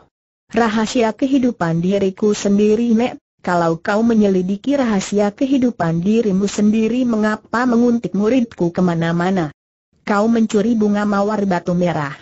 Kau mengintipnya mandi, Nek, batu merah hiasan rambut berbentuk bunga mawar itu adalah salah satu benda yang dapat menyingkap tabir gelap yang menyungkup diri saya selama ini. Saya merasa mempunyai kaitan dengan murid atau cucu kalian. Tapi sulit bagi saya untuk membuktikan. Penyelidikan yang saya lakukan selama ini selalu terbentur di jalan buntu. Itu sebabnya saya memberanikan diri memeriksa kantong perbekalan luh cinta. Hanya saja saya berlaku ceroboh. Itu saya lakukan ketika dia sedang mandi. Tapi jika tidak saya lakukan saya mungkin tidak akan pernah punya kesempatan lagi untuk menyelidikinya, makhluk muka tanah liat. Jangan berani macam-macam mengatakan punya kaitan dengan cucuku. Siapa kau sebenarnya membentak hantu penjunjung roh? Kami tadi mendengar kau menangis di tempat persembunyianmu. Apa yang kau tangiskan bertanya Luh Masigi. Nek, dada ini rasanya mau meledak karena tidak dapat mengeluarkan sejuta ucapan yang terpendam sejak belasan tahun silam. Terus terang, diri saya telah hancur dalam duka berkepanjangan. Saya ingin menerangkan siapa diri saya. Namun mungkin kalian tidak percaya. Karenanya saya meminta agar kalian sudi melihat wajah yang selama ini selalu saya sembunyikan. Saya berharap wajah saya ini bisa menjadi sejuta kata yang bisa memberi kejelasan pada kalian. Habis berkata begitu si penolong Budiman mencongkel tapisan tanah liat hitam kering yang melapisi permukaan wajahnya. Saat itu hari mulai terang karena di timur fajar telah menyingsing. Begitu lapisan tanah liat kering lepas dari wajahnya, si penolong Budiman memandang ke arah hantu penjunjung roh. Nenek, apakah kau mengenali wajah saya? Wajah tua keriputan hantu penjunjung roh kelihatan mengernyit lalu perlahan-lahan berubah pucat. Dua bola matanya yang berbentuk kerucut merah memberojol keluar. Dari kepalanya mengepul asap merah sedang asap berbentuk kerucut yang ada di atas batok kepalanya bergerak turun naik. Sekujur tubuh si nenek menggigil seperti orang diserang demam panas tinggi. Badannya menghuyung. Dia cepat bersandar ke pohon di belakangnya. Luh Nik kau kenapa? Apa kau mendadak sakit tanda seru bertanya Luh Masigi. Demi seribu dewa seribu peri. Demi semua roh yang tergantung antara langit dan bumi nenek Luh Nik apakah kau mengenali diri saya an, anakku Latampi? Suara hantu penjunjung roh bergetar hebat benar, benarkah kau yang berlutut di hadapanku ini? Wahai yang maha kuasa kau kembalikan anakku. Latampi, sepasang mata si nenek tak kuasa menahan jatuhnya air mata yang meluncur ke pipinya. Si penolong Budiman sendiri tampak berkaca-kaca dua matanya. Hantu lembah laut kata hijau mulai sesenggukan. Kalau, kalau kau memang Latampi anakku, di punggungmu pasti ada tanda kehijauan, mendengar kata-kata hantu penjunjung roh itu si penolong Budiman gerakan tangan kanan untuk menurunkan jubahnya sampai sebatas pinggang. Lalu dia memutar tubuh, mengarahkan punggungnya pada hantu penjunjung roh. Si nenek terdengar memekik keras ketika dia melihat pada punggung si penolong Budiman ada tanda kehijauan sebesar telapak tangan. Si penolong Budiman tarik jubahnya ke atas kembali. Masih dalam keadaan berlutut dia memutar tubuh, berhadap-hadapan lagi dengan si nenek. Nenek, apakah kau bisa memberikan satu kepastian siapa adanya diri saya sebenarnya hantu penjunjung roh menggerung keras. Kau, kau jangan panggil aku nenek. Kau adalah anakku. Latampi. Kau adalah anakku. Aku ini ibumu tak dapat menahan hatinya lagi Luh Nik-Nik alias hantu penjunjung roh memeluk si penolong budiman erat-erat sambil meratap panjang. Luh Masigi alias hantu lembah lau kata hijau ikut merangkul kedua orang itu dan tak dapat pula menahan tangisnya. Setelah puas berangkulan dan bertangisan, Ketiga orang itu terduduk diam, tak bisa berucap, hanya bersaling pandang satu sama lain. Akhirnya hantu lembah kata hijau berkata, Latampi, mari aku abati cedera di bahu kirimu. Aku bersyukur pukulan yang dilepaskan Luh Cinta tidak menghantam telak dirimu. Kalau sampai anak itu membunuhmu, lalu kemudian dia tahu siapa dirimu sebenarnya. Aku tak dapat membayangkan apa yang bakal terjadi, Nek, justru saat ini saya masih merasakan ada ganjalan berat dalam hati ini, menjawab si penolong budiman yang sebenarnya adalah Latampi, ayah Luh Cinta. Ganjalan apa maksudmu tanya si nenek. Selama ini saya selalu ingin bertemu dengan Luh Cinta, namun kini ada kebimbangan kehadiran saya akan membulkan duka lara dalam dirinya. Sekalipun saya memang ayahnya, tetapi bukankah saya ini kakak kandung dari Luh Piranti, ibunya? Kenyataan ini bukankah satu hal yang sangat pahit baginya? Apalagi dia juga tahu kalau dia anak yang terlahir di luar nikah. Anak haram, Hantu penjunjung roh tundukan kepala lalu memandang ke jurusan lain. Matanya kembali berkaca-kaca sementara hantu lembah kata hijau pegang bahu Tampi dan berucap. Mengenai sebutan anak haram yang barusan kau ucapkan. Di dunia ini tidak ada yang disebut anak haram wahai cucuku. Semua anak yang lahir ke dunia adalah anak-anak suci. Lu cinta sama sucinya dengan bayi-bayi lain yang pernah dilahirkan seorang ibu. Dia tidak akan pernah menanggung segala dosa atau kekeliruan yang dibuat kedua orang tuanya, ucapanmu itu menguatkan hati saya Nek. Saya sangat berterima kasih. Tapi saya tidak bisa menduga bagaimana perasaan hati lu cinta sendiri. Paling tidak dia akan merasa malu berayahkan seorang lelaki seperti saya yang kawin dengan adik kandungnya sendiri, kuatkan hatimu Latampi, berkata hantu penjunjung roh. Jangan mengharapkan sesuatu yang tidak baik. Tabahkan hatimu. Kuatkan jiwamu sambil meminta berkat dan perlindungan dari Yang Kuasa, Luh Niknik, pertama kali kau datang tadi, kau mengatakan ada tiga hal yang hendak kau bicarakan. Kita sudah membicarakan mengenai Luh Cinta, apa hal kedua dan ketiga beberapa waktu lalu seorang perempuan tua bernama Luh Munding Laya pernah menyiar kabar kalau dia ingin sekali menemui salah satu dari kita sebelum dia menemui ajal. Waktu itu dia sedang dilanda sakit berat, Luh Munding Laya. Hantu lembah La kata hijau mengulang menyebut nama itu. Bukankah dia perempuan yang pernah diam di rimba belantara tempat ditemukannya mayat Luh Piranti tergantung? Ada apa dengan nenek itu dan mengapa mencari kita katanya ada satu hal teramat penting yang hendak disampaikannya pada kita sebelum dia mati, jawab hantu penjunjung roh. Hal apa tanya hantu lembah lah kata hijau. Dia tidak memberitahu pada siapa pun. Kecuali pada kita berdua. Aku punya firasat apa yang hendak dikatakannya punya hubungan tertentu dengan kematian Luh Piranti di dalam rimba belantara, kalau begitu kita harus mencari Luh Munding layak kata hantu lembah la kata hijau pula.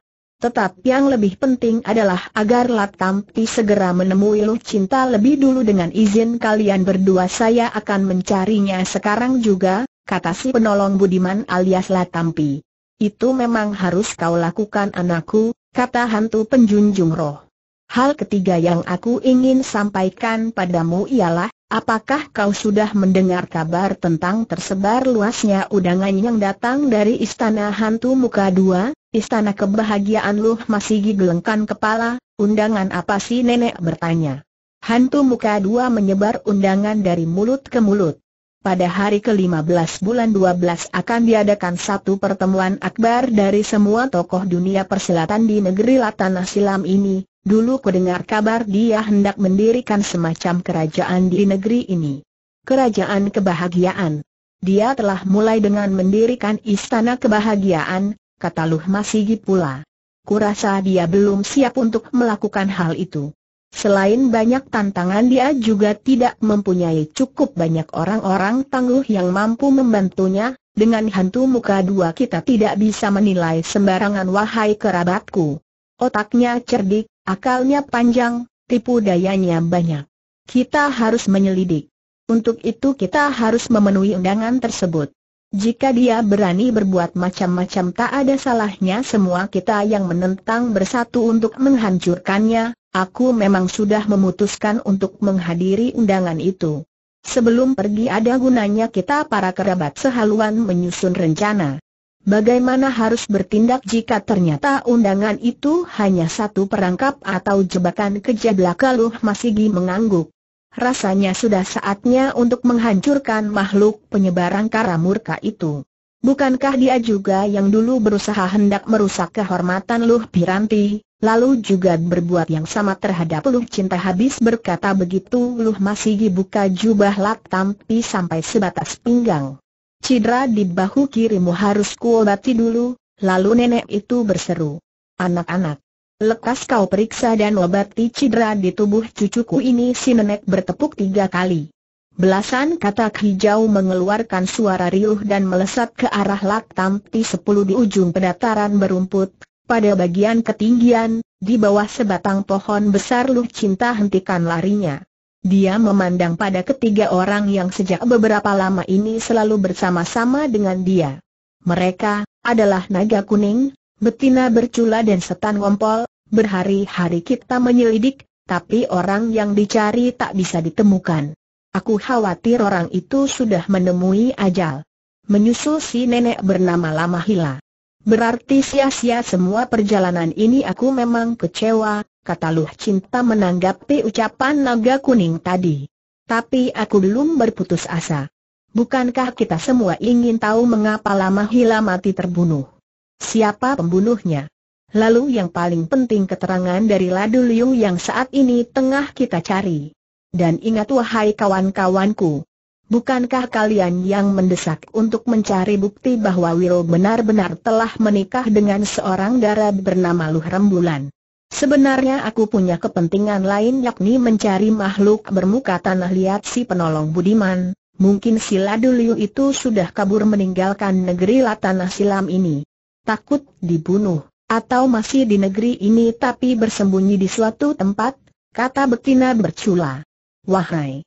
Siapakah kalian yang tengah mencari orang bernama Ladu Liu? Tiba-tiba satu suara bertanya dari balik pohon besar, membuat terkejut Lu Cinta dan kawan-kawannya. Keempat orang itu sama-sama melangkah ke balik pohon. Di situ tampak seorang tua berdestar hitam, berpakaian dan bercelana gombrong hitam, duduk di rumput sambil memegang sebuah joran pengail. Sikapnya seperti orang tengah mengail padahal di tempat itu tidak ada tambak atau kolam memancing. Naga kuning, betina bercula dan setan ngompol jadi saling pandang si bocah berbisik. Ada orang gila di tempat ini. Masakan duduk mengaili pedataran rumput Luk Jelita juga menyadari keanehan itu, tapi dia tidak mau bertindak sembarangan. Orang-orang aneh biasanya adalah mereka yang memiliki kepandaian tinggi dan menyembunyikan ilmu mereka di balik keanehan itu. Orang tua berdestar hitam. Kau siapa? Apakah kau kenal dengan Ladu Liu bertanya Luh Cinta? Aku kenal beberapa orang bernama Ladu Liu, ada yang pendek, ada yang jangkung. Ada juga yang gemuk tapi ada pula yang ceking kurus. Hik, hik, Ladu Liu yang mana yang kau cari wahai gadis cantik berbaju biru sambil bicara sepasang mata orang tua itu memandang liar, memperhatikan Lu Cinta mulai dari ujung rambut sampai ke kaki. Yang kami cari Ladu Liu pembantu nenek juru nikah bernama Lama Hila, menjawab naga kuning. Oh, Ladu Liu yang itu ujar si destar hitam. Dia menatap naga kuning sesaat lalu beralih pada setan ngompol, terakhir sekali memandang betina bercula agak lama baru kembali berpaling pada Luh Cinta. Mengapa kalian mencari orang itu kami punya kepentingan? Ingin bertanyakan sesuatu padanya, jawab Luh Cinta. Kalau cuma bertanyakan sesuatu katakan saja padaku, nanti aku sampaikan padanya, lalu kapan kami mendapat jawabnya tanya betina bercula yang menganggap orang tak dikenal itu bicara seenaknya. Si orang tua kembali memandang pada betina bercula lalu tersenyum sambil kedip-kedipkan matanya. Betina bercula yang memang nakal balas mengedipkan mata dan unjukkan sikap genit wajahmu sebenarnya cantik tapi dandananmu kacau tak karuhan. Hik, Hi kata orang tua berdastar hitam. Terima kasih atas pujianmu, menyahuti betina bercula. Kau baru melihat luarnya saja, kalau sampai melihat sebelah dalam pasti kau akan terangsang kelagapan.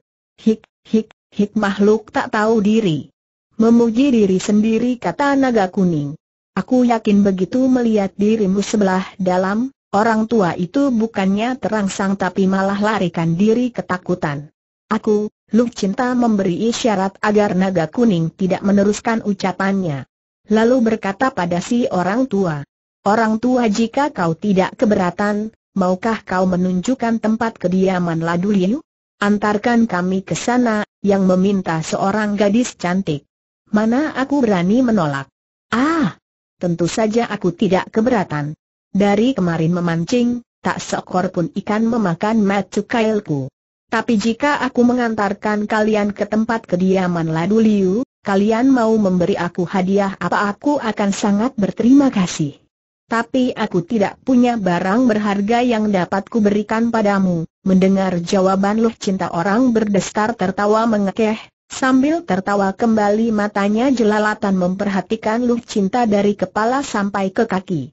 Lidahnya beberapa kali dijuyurkan dan tenggorokannya tampak turun naik seolah saat itu dia tengah memandangi satu makanan yang sangat lezat. Orang berdestar hitam itu kembali tertawa mengekeh. Sudahlah, kau tak usah memikirkan soal hadiah. Aku akan beritahu di mana beradanya Laduliu, perlahan-lahan orang tua itu bangkit berdiri. Sambil matanya terus menatap Luh Cinta, orang ini gulung tali kailnya seputar joran. Ikuti aku katanya kemudian pada Luh Cinta. Dia mulai melangkah. Ketika Luh Cinta dan yang lain-lainnya mengikuti tiba-tiba orang tua itu hentikan langkahnya dan berpaling. Yang boleh mengikutiku hanya satu orang yaitu kasih destar hitam berkata pada Luh Cinta, yang tiga ini harap menunggu di sini sambil berkata orang tua itu gerakan tangan kanannya yang memegang joran. Tangan kirinya ikut bergerak. SSSTTT, SSTTT tali kail yang tadinya melilit di kayu joran tiba-tiba melesat di udara dan tahu-tahu telah melibat naga kuning, setan ngompol dan betina bercula. Ketiga orang ini berteriak kaget. Mereka coba lepaskan diri dari lilitan tali kail. Tapi ternyata mereka tidak mampu lagi menggerakkan anggota badan masing-masing. Di saat yang bersamaan dengan melesatnya tali kail, dari tangan kiri orang tua berdestar menderu selarik angin dingin, mengarah pada Luh Cinta. Untung gadis ini berlaku waspada. Dengan cepat dia melompat jauh hingga terhindar dari serangan. Wajahnya serta-merta menunjukkan kegusaran. Astaga! Apa yang terjadi? Aku tak bisa menggerakkan tangan naga kuning berseru kalang kabut tanganku juga. Kakiku kaku berat berkata betina bercula dengan muka pucat. Pinggulku juga tak bisa digoyangkan sekujur tubuhku lumpuh.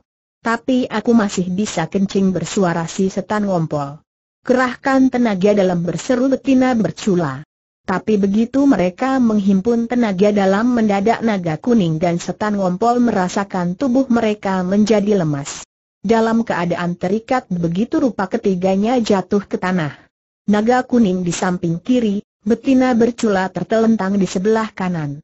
Celakanya setan ngompol jatuh menelungkup tepat menindih sosok betina bercula. Kakek bau pesing. Awas kalau kau berani ngompol teriak betina bercula. Baru saja dia berteriak begitu justru si kakek Mat Jereng itu malah pancarkan air kencingnya. Gila kau! Tua bangka sinting! Kau kencingi diriku meraung betina bercula seperti mau menangis. Tapi lelaki yang ada kelainan ini tak bisa berbuat apa-apa. Jangan ribut saja. Apa tidak sadar kalau kita berada dalam bahaya menghardik naga kuning? Bocah geblek. Lekas keluarkan naga kuning bermata merah yang ada di dadamu kata setan ngompol. Aku tidak tahu bagaimana caranya. Naga kejadian itu hanya muncul kalau keselamatanku benar-benar terancam, bocah tolol. Punya ilmu kesaktian tapi tidak tahu bagaimana menggunakan. Apa saat ini kau kira keselamatan kita tidak terancam? Aku punya firasat orang tua berdestar hitam itu hendak membunuh kita semua merutuk betina bercula. Ala, Kau diam sajalah. Kau kan lagi keenakan ditindih kakek tukang ngompol itu sialan kau maki betina bercula. Anak stan. Dasar geblek ikut memaki setan ngompol. Lu Cinta terkejut sekali melihat apa yang terjadi dengan ketiga sahabatnya itu. Sekali memperhatikan gadis berkepandaian tinggi ini segera mengetahui bahwa bukan tali kail yang melibat itu yang lumpuhkan kawan-kawannya. Ada satu ilmu kesaktian lain yang dikeluarkan bersamaan dengan libatan tali kail. Juga yang tadi dihantamkan kepadanya lewat tangan kiri oleh orang berdestar hitam. Sekali lak. Lu Cinta memperhatikan seperti diketahui gadis ini memiliki satu ilmu di mana dia sanggup melihat benda di kejauhan seolah satu jengkal di depan matanya. Ketika dia mengeluarkan ilmu itu dan meneliti keadaan ketiga kawannya, dia dapat melihat bagaimana otot dan urat naga kuning, setan ngompol serta betina bercula seolah terbuhul di beberapa tempat. Para si gadis berubah merah. Dia berpaling pada orang tua berdestar hitam. Tiada permusuhan tiada perseteruan. Kami datang dengan baik-baik. Tapi kau mencelakai tiga kawanku. Kau melumpuhkan mereka dengan ilmu membuat mengikat otot katakan siapakah sebenarnya orang tua berdestar hitam tertawa gelak-gelak. Matamu sungguh tajam luh cinta hai. Bagaimana kau tahu namaku seru Luh Cinta Eran dan tambah kaget delapan penjuru angin negeri siapa yang tidak tahu gadis cantik bernama Luh Cinta yang saat ini sedang patah hati karena ditinggal kawin seng kekasih. Ha, ha, ha, haluh cinta tersurut sampai dua langkah. Mukanya yang tadi merah mendadak berubah pucat. Dia memandang lekat-lekat ke wajah orang tua itu. Tapi dia tak bisa mengenali siapa orang ini adanya. Dia melirik ke arah tiga kawannya, memperhatikan sekali lagi. Membuah lurat mengikat otot adalah ilmu kepandaian kepunyaan hantu sejuta tanya sejuta jawab. Bagaimana kau bisa memilikinya? Siapakah sebenarnya siapa diriku sebenarnya? Ha, ha, ha. Apakah sungguhan kau ingin mengetahui diriku yang asli wahai Luh Cinta kalau kau memang berhati jantan lekas tunjukkan wujudmu sebenarnya menantang Luh Cinta? Tawa orang berdestar kembali meledak. Untukmu aku akan melakukan segalanya. Luh Cinta, lihat siapa diriku ini habis berkata begitu orang tua berdestar hitam usapkan tangan kanannya ke wajahnya sementara tangan kiri dipergunakan untuk menanggalkan dasar hitam. Sesaat kemudian terjadilah hal yang tidak tersangka-sangka. Kepala orang tua itu berubah. Kini dia tidak hanya memiliki satu wajah tapi ada dua wajah di satu kepala. Wajah sebelah depan berupa wujud seorang lelaki separuh baya berkulit putih. Lalu wajah kedua yang ada di sebelah belakang rupanya sama dengan yang di depan hanya bedanya kulitnya berwarna hitam pekat dan berkilat. Hantu muka dua seruluh cinta, Betina bercula yang juga mengenali dua wajah itu ikut menjerit. Naga kuning diam tercekat dengan mata melotot. Setan ngompol jangan ditanya. Saat itu juga dia sudah terkencing-kencing membuat betina bercula yang ada di bawahnya memaki habis-habisan wahai, ternyata kau tidak melupakan dua wajahku. Luh cinta, aku sendiri juga tidak pernah melupakan dirimu. Wajahmu selalu terbayang sejak peristiwa di tempat kediaman Kuduhiu. Di bawah telaga lasitu hitam, betapa hasratku yang menyala-nyala dirusak oleh kehadiran nenek keparat berjuluk hantu penjunjung roh. Hari ini agaknya tidak ada yang akan mengganggu kita. Luh cinta kekasihku, apa kau mau ikut secara baik-baik atau aku terpaksa memaksamu wajah Luh cinta menjadi merah seperti saga. Rahangnya menggembung. Dia ingat bagaimana dulu hantu muka dua menipunya dan menculiknya. Dia dilarikan ke satu tempat dan hampir menjadi korban kebejatan makhluk jahanam itu kalau tidak diselamatkan oleh hantu penjunjung roh yang kemudian diketahui ternyata adalah nenek kandungnya sendiri, bakal serial Wiro Sableng di negeri Latana Silam berjudul Rahasia Bayi Tergantung, Hantu Muka Dua. Hati dan otak merupanya telah membeku jadi batu. Bertahun-tahun telah berlalu, ternyata kau tidak bisa merubah diri. Kapan kau mau bertobat hantu muka dua tertawa gelak-gelak mendengar ucapan luh cinta itu? Gadis cantik kekasih hatiku. Aku tidak perlu merubah diri karena akulah yang merubah segala sesuatunya di negeri Latana Silam ini. Dalam waktu dekat aku akan menjadi penguasa tunggal di negeri ini. Raja di Raja Hantu Negeri Latanah Silam. Dan aku sudah memutuskan bahwa kau adalah orang yang tepat bersanding dengan diriku. Menjadi permaisuriku di istana kebahagiaan makhluk eh dan tak tahu diri memaki naga kuning. Suaranya sengaja dikeraskan agar tordongaro teh hantu muka dua, menyebut luh cinta kekasihnya, mau menjadikan gadis itu sebagai permaisuri di istana kebahagiaan. Huh! Kalau saja hantu selaksa angin ada di tempat ini akan ku suruh dia memindahkan salah satu muka si keparat itu ke pantatnya dua wajah hantu muka dua sekilas berubah menjadi wajah-wajah raksasa mengerikan. Ini pertanda dia sedang marah besar. Kemudian dua wajah ini kembali ke bentuknya semula dan berpaling pada Luh Cinta tepat pada saat gadis itu berucap. Penguasa tunggal. Kau bermimpi hantu muka dua bisa saja betul ucapanmu itu. Aku bermimpi. Tapi mimpi yang akan jadi kenyataan. Ha, ha, ha habis berkata begitu hantu muka dua keluarkan suitan keras. Belum lenyap suara gemas suitan itu di pedataran berumput, Tiba-tiba dari arah kiri berkelebat muncul dua orang berjubah. Yang pertama seorang kakek berambut putih awut-awutan. Sebagian kepalanya tampak sulah dan ada bekas luka yang belum kering. Dia mengenakan sehelai jubah kuning gelap. Mukanya dan bagian tubuhnya yang tersembul dari balik jubah dipenuhi cacat mengerikan. Dagingnya seolah terbakar melepuh mengerikan. Ini semua adalah akibat pukulan menebar budi hari pertama yang dilancarkan si penolong Budiman ketika terjadi pertempuran beberapa waktu lalu, baka episode berjudul Hantu Selaksa Angin, tidak mengherankan kalau orang ini yang dikenal dengan nama Lajailio memendam dendam hebat terhadap si penolong Budiman. Orang kedua bukan lain si nenek pasangan Lajahilio yakni Luh Jailio. Cacat akibat pukulan kasih mendorong bumi yang pernah dihantamkan Luh Cinta pada nenek jahat ini membuat tubuhnya mengerikan luar biasa. Hidungnya gerumpung, dagingnya di bagian muka, dada dan perut bertanggatan. Lalu ketika dia berhadapan dengan hantu langit terjungkir, dia dipaksa menerima hantaman keras yang membuat mata kanannya mencelat lepas. Kini mata itu hanya merupakan rongga besar menjidikan. Keadaan si nenek lebih mengerikan lagi karena di kepalanya menempel tangan kanannya sendiri yang ditanggalkan oleh hantu selaksa angin dan ditempelkan di jidatnya. Luk cinta seru hantu muka dua, lihat siapa yang datang. Kau tentunya kenal baik dengan sepasang kakek nenek ini. Ha, ha, ha. Mereka datang membekal dendam setinggi tangit sedalam lautan.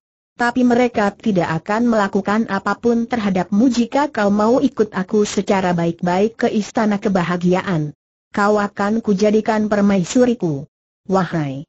Tidak ada gadis yang seberuntung dirimu loh cinta sengaja tidak memperhatikan dan tidak memperdulikan dua kakek nenek yang dikenal dengan julukan sepasang hantu bercinta itu. Malah dengan tersenyum dia berkata, Hantu muka dua, aku kagum akan kecerdikanmu. Hanya sayangnya kecerdikan itu kau pergunakan untuk berbuat jahat aku akan mempertimbangkan mau mengikutimu atau tidak. Tapi harap kau bebaskan tiga kawanku lebih dulu. Perihal sepasang kakek nenek ini biar para roh yang akan menentukan nasibnya. Mereka sudah beberapa kali diselamatkan para dewa tapi masih tetap muncul menebar kejahatan. Nyatanya mereka telah menjadi kaki tanganmu perihal kau mau menjadikan diriku sebagai permaisuri kira ada gadis lain yang paling cocok. Lagi pula ku dengar kabar kau sudah lama bercinta dengannya, wajah hantu muka dua depan belakang mengernyit heh, gadis mana maksudmu? Siapa namanya Luh Jelita? Jawab Luh Cinta pula. Mendengar jawaban Luh Cinta itu hantu muka dua tertawa gelak-gelak. Luh Jelita tidak ada apa-apanya dibanding dengan dirimu. Lagi pula aku mendengar dia telah berbuat serong dengan pemuda asing bernama Wiro Sableng dari negeri 1200 tahun mendatang itu. Dia tidak pantas jadi permaisuriku kalau begitu dari sekarang lebih baik kau segera mencari calon permaisuri yang lain, kata Luh Cinta sambil rangkapkan sepasang tangan di depan dada. Luh cinta, kau cantik jelita. Cap keras kepala hantu muka dua mulai jengkel karena Luh cinta tidak mengikuti kemauannya. Dia mendungak ke langit. Sekali lagi makhluk bermuka dua ini keluarkan suitan keras. Dari arah kanan berkelebat satu bayangan putih. Tahu-tahu sosok tubuh tinggi besar berjubah putih berdiri di hadapan Luh Cinta, menyeringai memandang pada si gadis. Luh Cinta sampai tersurut dua langkah saking kagetnya. Hantu sejuta tanya sejuta jawab seru Luh Cinta. Naga kuning dan dua kawannya yang masih berada dalam keadaan tak berdaya tak kalah kejutnya. Celaka. Habis kita hari ini kata setan ngompol sambil menahan kencingnya. Ingat apa yang kita lakukan padanya dulu aku takut, kata betina bercula pula. Kalau saja tangan atau kakinya bisa digerakkan pasti saat itu dia sudah merangkul setan ngompol yang ada di atasnya, dalam episode berjudul Badai Fitnah Latana Silam diceritakan bagaimana hantu sejuta tanya sejuta jawab dibuat tak berdaya oleh hantu santet laknat. Sedang Lawungu berada dalam keadaan kaku akibat ditotok oleh setan ngompol. Dalam keadaan seperti itulah dua tokoh silat itu kena dikerjai oleh naga kuning, setan ngompol dan betina bercula. Lawungu dikencingi mulutnya oleh setan ngompol. Hantu sejuta tanya sejuta jawab sendiri kemudian mereka siksa dengan semut rang-rang, cacing tanah, kala jengking, kadal dan kodok. Binatang-binatang itu mereka masukkan ke balik jubah si kakek, tepat di bagian bawah perutnya. Tidak salah kalau Lawungu dan hantu sejuta tanya sejuta jawab menimbun dendam luar biasa terhadap naga kuning dan kawan-kawannya sebelas hantu sejuta tanya sejuta jawab bertolak pinggang di hadapan Luh Cinta lalu keluarkan tawa bergelak. Kau terkejut melihat kehadiranku di tempat ini berucap kakek yang otaknya ada di atas kepala itu. Aku tidak menyangka kalau kau rupanya tui aja di kaki tangan hantu muka dua pula. Malang nia nasibmu, kata Luh Cinta sambil geleng-geleng kepala. Kini terungkap teka-teki mengapa hantu muka dua memiliki ilmu membuat mengikat otot. Pasti kau yang memberi padanya hantu sejuta tanya sejuta jawab menyeringai. Aku memberikan bukan secara cuma-cuma. Hantu muka dua cukup adil dengan menjanjikan satu jabatan penting di istana kebahagiaan hantu celaka memaki naga kuning. Aku menyesal mengapa Kiai CD Tapa Pamungkas menyuruh naga hantu memuntahkan kakek keparat itu kembali. Kalau dia mampus dulu-dulu tidak akan menimbulkan bencana baru lagi seperti saat ini jabatan tinggi telah menyilaukan matamu walau itu baru sebuah janji. Padahal kasih dari Yang Maha Kuasa menjanjikan sesuatu yang abadi kata Luh Cinta pula yang segera disambuti oleh hantu sejuta tanya sejuta jawab dengan ucapan keras. Kalian mengaku orang-orang berbudi luhur, menggembar-gemborkan hidup berdasarkan kasih sayang. Apa yang aku dapat dari kalian? Dua cucuku dirusak kehormatannya. Tak ada satupun yang peduli. Semua orang memusuhi diriku. Tak ada satupun di antara kalian yang mau membela. Kalau aku memang tidak mendapat tempat dalam barisan kalian, apa salahnya aku bergabung dengan kerabatku hantu muka dua kau terjebak dalam kesesatan. Kesengsaraan yang menimpa dirimu akibat ulahmu sendiri. Kasih yang kau maksudkan bukan kasih yang murni, tapi bercampur dengan hasut fitnah, dengki hianat, berlapis dengan ketamakan. Kelak kau bakal terpuruk lebih dalam di jurang kehinaan para kerabatku. Jangan biarkan kekasihku itu bicara terlalu banyak. Kalian tahu apa tugas masing hantu muka dua berteriak. Mendengar itu dua kakek nenek berjuluk sepasang hantu bercinta dan hantu sejuta tanya sejuta jawab menjura memberi hormat. Mereka berkelebat saling menyebar. La Jailio dan Luh Jailio menggebrak ke arah Luh Cinta sedang hantu sejuta tanya sejuta jawab melompat ke tempat di mana naga kuning, setan ngompol dan betina bercula terikat lumpuh tak berdaya dan tergelimpang di tanah. Celaka. Cucu, riwayat kita benar-benar akan temat hari ini kata naga kuning yang memanggil betina bercula dengan sebutan cul-cul. Suaranya bergetar. Betina bercula sendiri saat itu sudah menggigil seperti diserang demam panas sementara setan ngompol mancur habis-habisan air kencingnya. Sekali hantu sejuta tanya sejuta jawab membetot tali kail yang melibat tubuh ketiga orang itu maka tali itu pun putuslah. Dengan tangan kirinya hantu sejuta tanya sejuta jawab kemudian menjambak rambut setan ngompol. Kakek ini mendelik ketakutan, kencingnya munkrat tua bangka jahanam. Kau yang dulu mengencingi mulut temanku, lawumu.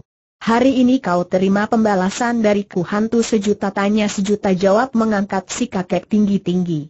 Ketika dia hendak menghantam muka setan ngompol dengan jotosan tangan kanannya, naga kuning berteriak. Hantu pengecut. Kakek itu dalam keadaan lumpuh tak berdaya. Kau mau apakan dia hantu sejuta tanya sejuta jawab menyeringai. Dia melirik ke arah naga kuning lalu melangkah mendekati anak ini. Tiba-tiba kaki kanannya bergerak. Buk naga kuning menjerit keras. Tubuhnya mencelat sampai dua tombak ketika tendangan hantu sejuta tanya sejuta jawab mendarat di sisinya. Dari mulutnya keluar suara mengerang. Rusuknya sakit bukan main. Mungkin ada tulang iganya yang patah atau remuk. Seair air kencing setan ngompol mancur deras karena berbarengan yang itu hantu sejuta tanya sejuta jawab menjambak dan mengangkat tubuh si kakek tinggi-tinggi, akibatnya air kencing mengguyur jatuh membasahi jubah putihnya. Amarah hantu sejuta tanya sejuta jawab jadi tambah meledak. Tangan kanannya segera dihantamkan. Setan ngompol menjerit keras ketika jotosan hantu sejuta tanya sejuta jawab mendarat di mulutnya. Tubuhnya terlempar sampai dua tombak. Melingkar di tanah, mengerang kesakitan. Bibirnya pecah. Beberapa giginya yang masih ada rontok. Darah mengucur. Hantu pengecut betina bercula berteriak memaki. Beraninya pada kawanku yang tidak berdaya makhluk salah wujud. Sekarang giliranmu menerima pembalasanku sekali lompat saja hantu sejuta tanya sejuta jawab sudah berada di samping betina bercula. Lalu bereot kakek ini robek pakaian betina bercula kurang ajar. Kau mau berbuat apa teriak betina bercula. Aku akan telanjangi dirimu. Biar kelihatan wujudmu yang asli betina bercula meraung panjang, jangan. Kau boleh lakukan apa saja. Tapi jangan telanjangi diriku hantu sejuta tanya sejuta jawab hantu muka dua berteriak. Lekas kau telanjangi makhluk celaka itu. Aku juga ingin melihat wujudnya sebenarnya. Ha, ha, ha breot hantu sejuta tanya sejuta jawab kembali menggerakkan tangannya. Pakaian betina berculah robek sampai ke perut. Jangan. Jangan permalukan diriku aku mohon. Aku minta ampun. Jangan hantu sejuta tanya sejuta jawab kini pergunakan tangannya untuk merobek habis pakaian betina bercula dari perut sampai ke sebelah bawah. Melihat kejadian itu Luh Cinta marah besar. Dia berteriak keras dan berkelebat cepat untuk menolong betina bercula. Tapi saat itu sepasang hantu bercinta telah melompat menghadang gerakannya. Akibatnya Luh Cinta lampiaskan semua kemarahannya pada dua kakek nenek ini. Tubuhnya bergerai gemulai seperti seorang penari. Dua tangannya digerakkan perlahan, melepas pukulan kasih mendorong bumi. Seperti diketahui pukulan inilah dulu yang telah mencelakai Luh Cahilio. Si nenek segera berteriak memberi ingat kekasihnya. La Jahilio cepat menyingkir. Dua kakek ini melesat ke atas sampai setinggi dua tombak. Selagi melayang di udara keduanya saling memberi isyarat lalu sambil keluarkan suitan-suitan nyaring menusuk gendang-gendang telinga, begitu melayang turun kakek nenek ini kebutkan lengan jubah masing-masing. Di ujung lengan jubah kiri sebelah dalam Lu Jailio dan lengan jubah kanan La Jailio ternyata ada sebuah kantung merah.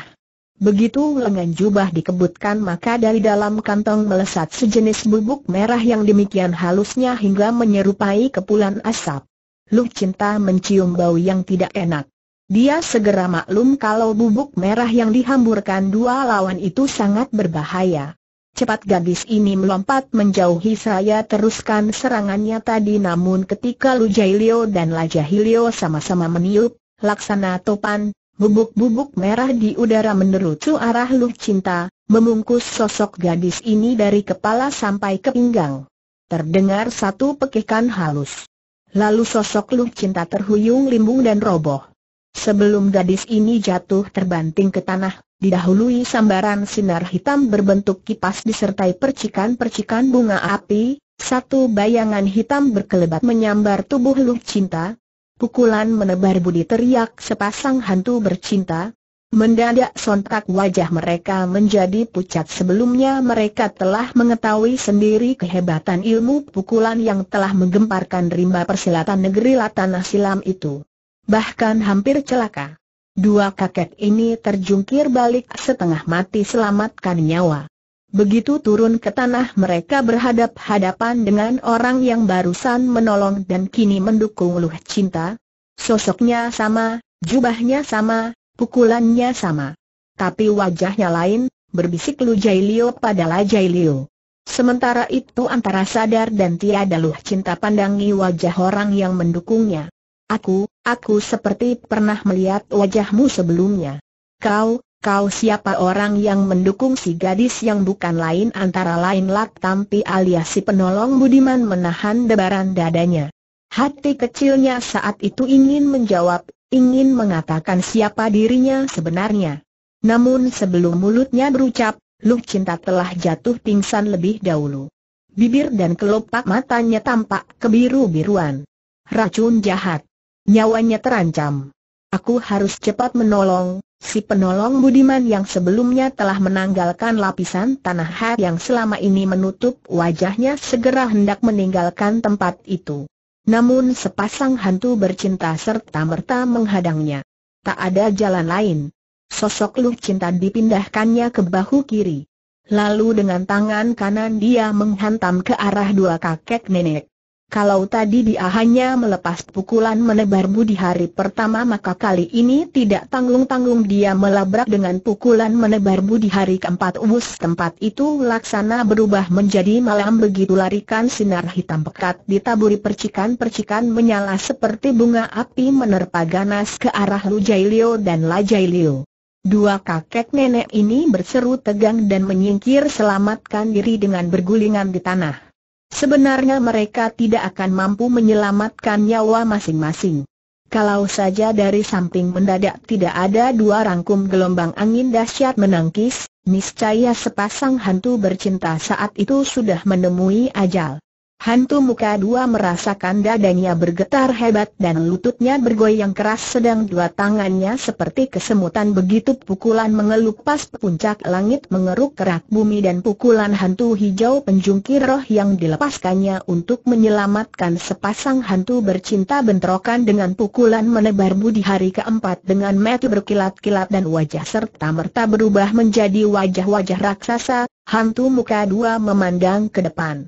Tapi saat itu si penolong Budiman telah melesat beberapa tombak sambil mendukung sosok Luh Cinta di bahu kirinya. Sepasang hantu bercinta, kalian tolol semua lekas kejar orang itu. Kau harus dapatkan Luh Cinta. Kalau gagal jangan harap jabatan tinggi di istana kebahagiaan. Dan ilmu bubuk penjungkir syaraf akan kuambil kembali saat itu dalam keadaan masih terbaring menelungkup di tanah, La Jailio berbisik pada kekasihnya, makhluk yang melarikan gadis itu luar biasa ilmunya. Kita bisa celaka di tangannya, saat ini kita tak ada pilihan lain jawab Luh Cahilio. Ikuti perintah hantu muka dua. Bagaimana jadinya nanti biar kita pikirkan nanti sepasang hantu bercinta segera mei empat bangkit kami siap menjalankan perintahmu berucap Luh Cahilio. Lalu tanpa banyak bicara lagi dua kakek nenek ini segera berkelebat tinggalkan tempat itu. Sementara itu pada saat si penolong Budiman pertama kali muncul melepaskan pukulan menebar budi hari pertama untuk menolong Lu Cinta, dari jurusan lain berkelebat pula dua bayangan. Satu putih satunya lagi kuning. Hantu sejuta tanya sejuta jawab menjadi kaget bukan kepalang ketika dia hendak merobek bagian bawah pakaian betina bercula mendadak ada satu tangan mencekal lengan kanannya. Sebelum dia sempat melihat siapa yang melakukan tiba-tiba tubuhnya terlempar ke atas. Walau dia berusaha mengimbangi diri namun begitu jatuh tetap saja kakek ini terhenyak di tanah pantat duluan. Kekasihku, Terima kasih kau telah menolong diriku betina bercula berseru ketika mengenali siapa cuan penolongnya. Di tempatnya berdiri hantu muka dua keluarkan suara menggembor begitu melihat siapa yang ada di hadapannya. Hantu sejuta tanya sejuta jawab kau yang jadi sesepuh di negeri Latana Silam ini ternyata masih saja melakukan perbuatan memalukan satu suara keras menegur. Malah kini jadi kaki tangan hantu muka dua kawan orang yang barusan menegur ikut menimpali lalu but pret terdengar suara kentut terpancar keras. Dari suara kentut itu jelas sudah yang barusan bicara ini bukan lain si nenek hantu berjuluk hantu selaksa angin alias luh pingitan. Sedang yang tadi melempar dan membanting hantu sejuta tanya sejuta jawab adalah pendekar 212 Wiro Sableng. Pemuda asing keparat. Lagi-lagi kau hantu sejuta tanya sejuta jawab mendidih amarahnya. Dosa perbuatan mesumu terhadap dua cucuku belum terampunkan. Dosa perbuatan kejimu mencuri tongkat saktiku belum bisa kau tebus. Sekarang malah beraninya kau mencampuri urusanku hantu sejuta tanya sejuta jawab berteriak hantu muka dua. Tidak perlu berbanyak bicara dengan pemuda keparat itu. Lekas kau habisi dial but peret hantu selaksa angin tertawa cekikikan lalu maju satu langkah mendekati hantu muka dua yang memandang mendelik seperti mau melumat nenek itu. Apa kau mengenali diriku, hingga kau memandang seperti itu padaku? Hik, hik siapa tidak tahu dirimu? Kau nenek penyebar kentut busuk yang sudah lama mencari mati sepasang meto hantu muka dua memandang begitu rupa seolah mau menembus dada pakaian si nenek, untuk mengetahui apakah sendok emas pemasung nasib yang dijadikan kalung masih tergantung di lehernya. Tua bangka muka kuning. Kalau kau memang mau mencari mati, datanglah ke istana kebahagiaan pada hari ke-15 bulan 12. Begitu? Hik, hik but pret aku khawatir kau yang mati lebih dulu dari aku hantu muka dua nenek keparat. Kalau begitu war aku membunuhmu sekarang juga teriak hantu muka dua marah hingga dua wajah di kepalanya langsung berubah menjadi wajah-wajah raksasa. Aku siap mati di tanganmu kata hantu selaksa angin sambil sodorkan kepalanya siap minta digebuk. Tapi apakah kau sudah tidak berpantang lagi membunuh perempuan hantu muka dua jadi terkesiap mendengar ucapan si nenek. Gerakan tangannya tertahan. Langkahnya tersurut. Dia sadar kalau dirinya seumur hidup memang mempunyai pantangan membunuh perempuan. Otak cerdiknya segera diputar.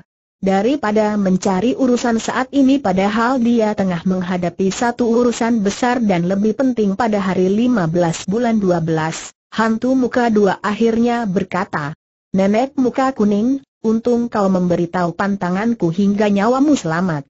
Memang sebenarnya aku tidak layak menghadapi makhluk tak karuan rupa dan hina jenis sepertimu sombongnya bicaramu.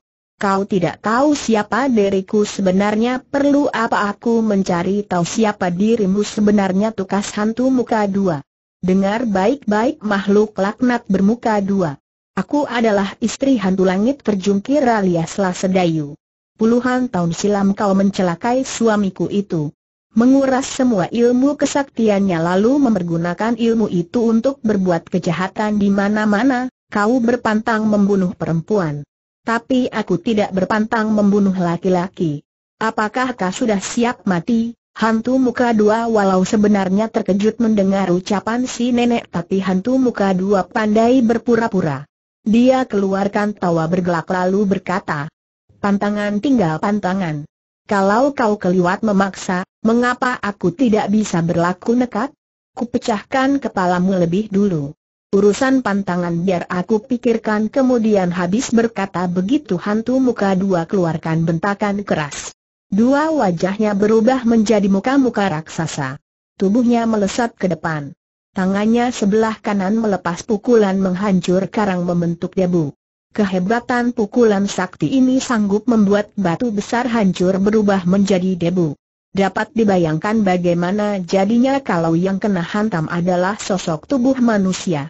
Hantu selaksa angin tertawa panjang lalu berkelebat dan siapa menghadapi serangan lawan.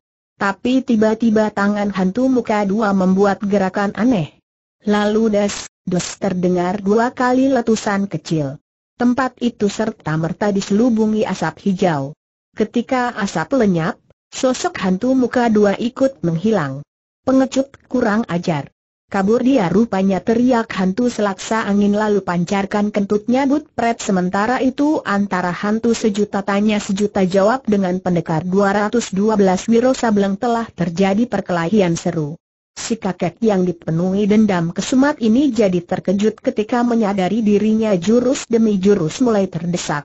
Karenanya dia segera keluarkan ilmu kesaktiannya. Pertama dia coba melumpuhkan Wiro dengan ilmu membeku jazab membungkam suara. Ini adalah semacam ilmu menotok tanpa menyentuh. Tapi maksud ini gagal.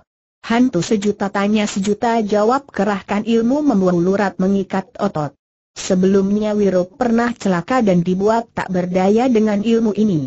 Namun sekali ini hantu sejuta tanya sejuta jawab bukan saja tidak berhasil melumpuhkan lawannya malah ketika Wira mulai menabur serangan balasan dengan jurus-jurus ilmu silat delapan sabda dewa sambil sesekali menyeling dengan pukulan-pukulan sakti dewa topan menggusur gunung, kilat menyambar puncak gunung dan tameng sakti menerpa hujan. Hantu sejuta tanya sejuta jawab terdesak hebat kakek ini segera keluarkan ilmu-ilmu andalannya. Hantu sejuta tanya sejuta jawab membuat gerakan melompat-lompat tubuhnya seolah bola karat membal kian kemari. Setiap kali berada di atas tanah, kakinya melesat mengirimkan tendangan hantu racun tujuh. Tendangan ini sangat berbahaya karena mengandung racun jahat namun sebelumnya Wiro telah pernah menghadapi kakek ini dan bahkan sempat terkena hantaman tendangan berbahaya itu. Jadi dia tahu seluk gerak serangan orang hingga bisa berlaku waspada dan menghindar. Tidak mampu menghajar lawan dengan tendangan mautnya hantu sejuta tanya sejuta jawab keluarkan pukulan menara mayat meminta nyawa. Segulung sinar kuning sebesar batang kelapa yang kemudian memecah menjadi tujuh melanda murid Sinto Gendeng Laksana Topam Prahara. Untuk selamatkan diri Wira melesat ke udara berjungkir balik sambil lindungi diri dengan pukulan benteng topan melanda samudera yang dilepas dengan tangan kiri, lalu tangan kanan menghantam dengan pukulan dahsyat yaitu pukulan sinar matahari. Cahaya putih dan panas berkiblat di udara. Tujuh larik sinar kuning laksana dirobek-robek, hancur bertaburan di udara. Hantu sejuta tanya sejuta jawab jatuh berlutut. Mukanya seputih kertas. Mulutnya komat kamit. Otaknya yang terselubung tapian bening mendenyut keras. Dia merasa ada cairan panas dan asin di mulutnya. Darah. Aku terluka di dalam, hantu sejuta tanya sejuta jawab membatin menyadari apa yang terjadi dengan dirinya. Apa yang aku duga tentang pemuda ini ternyata betul. Firasatku tentang kemunculannya puluhan tahun silam menjadi kenyataan. Sayang, mengapa aku kini jadi bermusuhan dengannya? Perlahan-lahan hantu sejuta tanya sejuta jawab bangkit berdiri. Matanya memandang tajam mengawasi Wiro. Mulutnya berucap, Anak muda, sayang aku ada urusan lebih penting. Jika saat ini aku meninggalkan tempat ini jangan menduga aku sengaja mengalah. Apa Yagi menyangka aku menaruh takut padamu. Bagaimanapun juga kelak dendam kesumat sakit hatiku akan kulampiaskan terhadapmu. Aku tunggu kau di istana kebahagiaan pada hari lima betas buyan dua betas habis berkata begitu hantu sejuta tanya sejuta jawab meludah ke tanah. Ludahnya tampak merah karena bercampur darah. Saat itu akibat bentrokan pukulan sakti mengandung tenaga dalam Wiro sendiri merasa tubuhnya bergetar hebat. Jalan darahnya seolah tersendat. Dadanya sesak dan dia sulit bernafas. Keningnya mendenyut kalau lawan kembali menggempurnya, cukup sulit baginya untuk menghadapi. Murid yang Sinto Gendeng ini cepat berusaha memulihkan keadaannya dengan mengerahkan hawa sakti dari pertengahan perut lalu dialirkan ke dada. Di depannya hantu sejuta tanya sejuta jawab tiba-tiba berkelebat hendak meninggalkan tempat itu. Orang tua. Tunggu dulu teriak pendekar 212. Sekali lompat saja dia sudah melesat dan menghadang larinya si kakek. Kau masih belum puas. Mau mencari kematianmu lebih cepat gertak hantu sejuta tanya sejuta jawab. Wira menyeringai. Tangan kanannya menyelinap ke balik pakaiannya. Hantu sejuta tanya sejuta jawab kerenyitkan kening dan sipitkan mata ketika pantulan sinar matahari yang menyentuh mata kapak sakti berbalik menyambar wajahnya. Tadi kau hendak mempermalukan sahabatku betina bercula. Kini biar aku balas melakukannya terhadapmu. Biar kau tahu bagaimana rasanya dipermalukan orang apa maksudmu Hardik hantu sejuta tanya sejuta jawab. Maksudku begini jawab murid Sinto Gendeng. Tangan kanannya bergerak. Kapak maut naga geni 212 berkelebat didahului suara menggaung seperti ada ribuan tawon mengamuk cahaya putih berkiblat seputar pinggang hantu sejuta tanya sejuta jawab. Si kakek menjerit keras ketika jubahnya sebatas pinggang ke bawah telah dibabat putus. Kini bagian jubah sebelah bawah yang putus itu jatuh ke tanah, membuat si kakek kalang kabut menutupi auratnya yang tersingkap.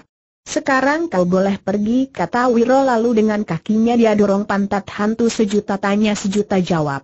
Dalam marah dan malu luar biasa si kakek tidak ingat lagi untuk mengambil kutungan jubahnya yang tergeletak di tanah.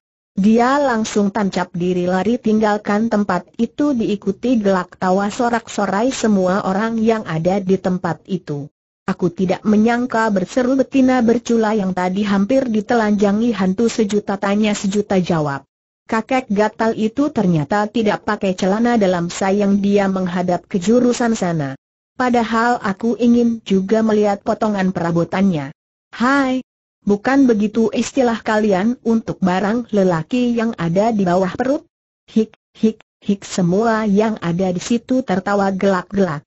Tawa mereka semakin riuh setelah naga kuning ikut menimpali.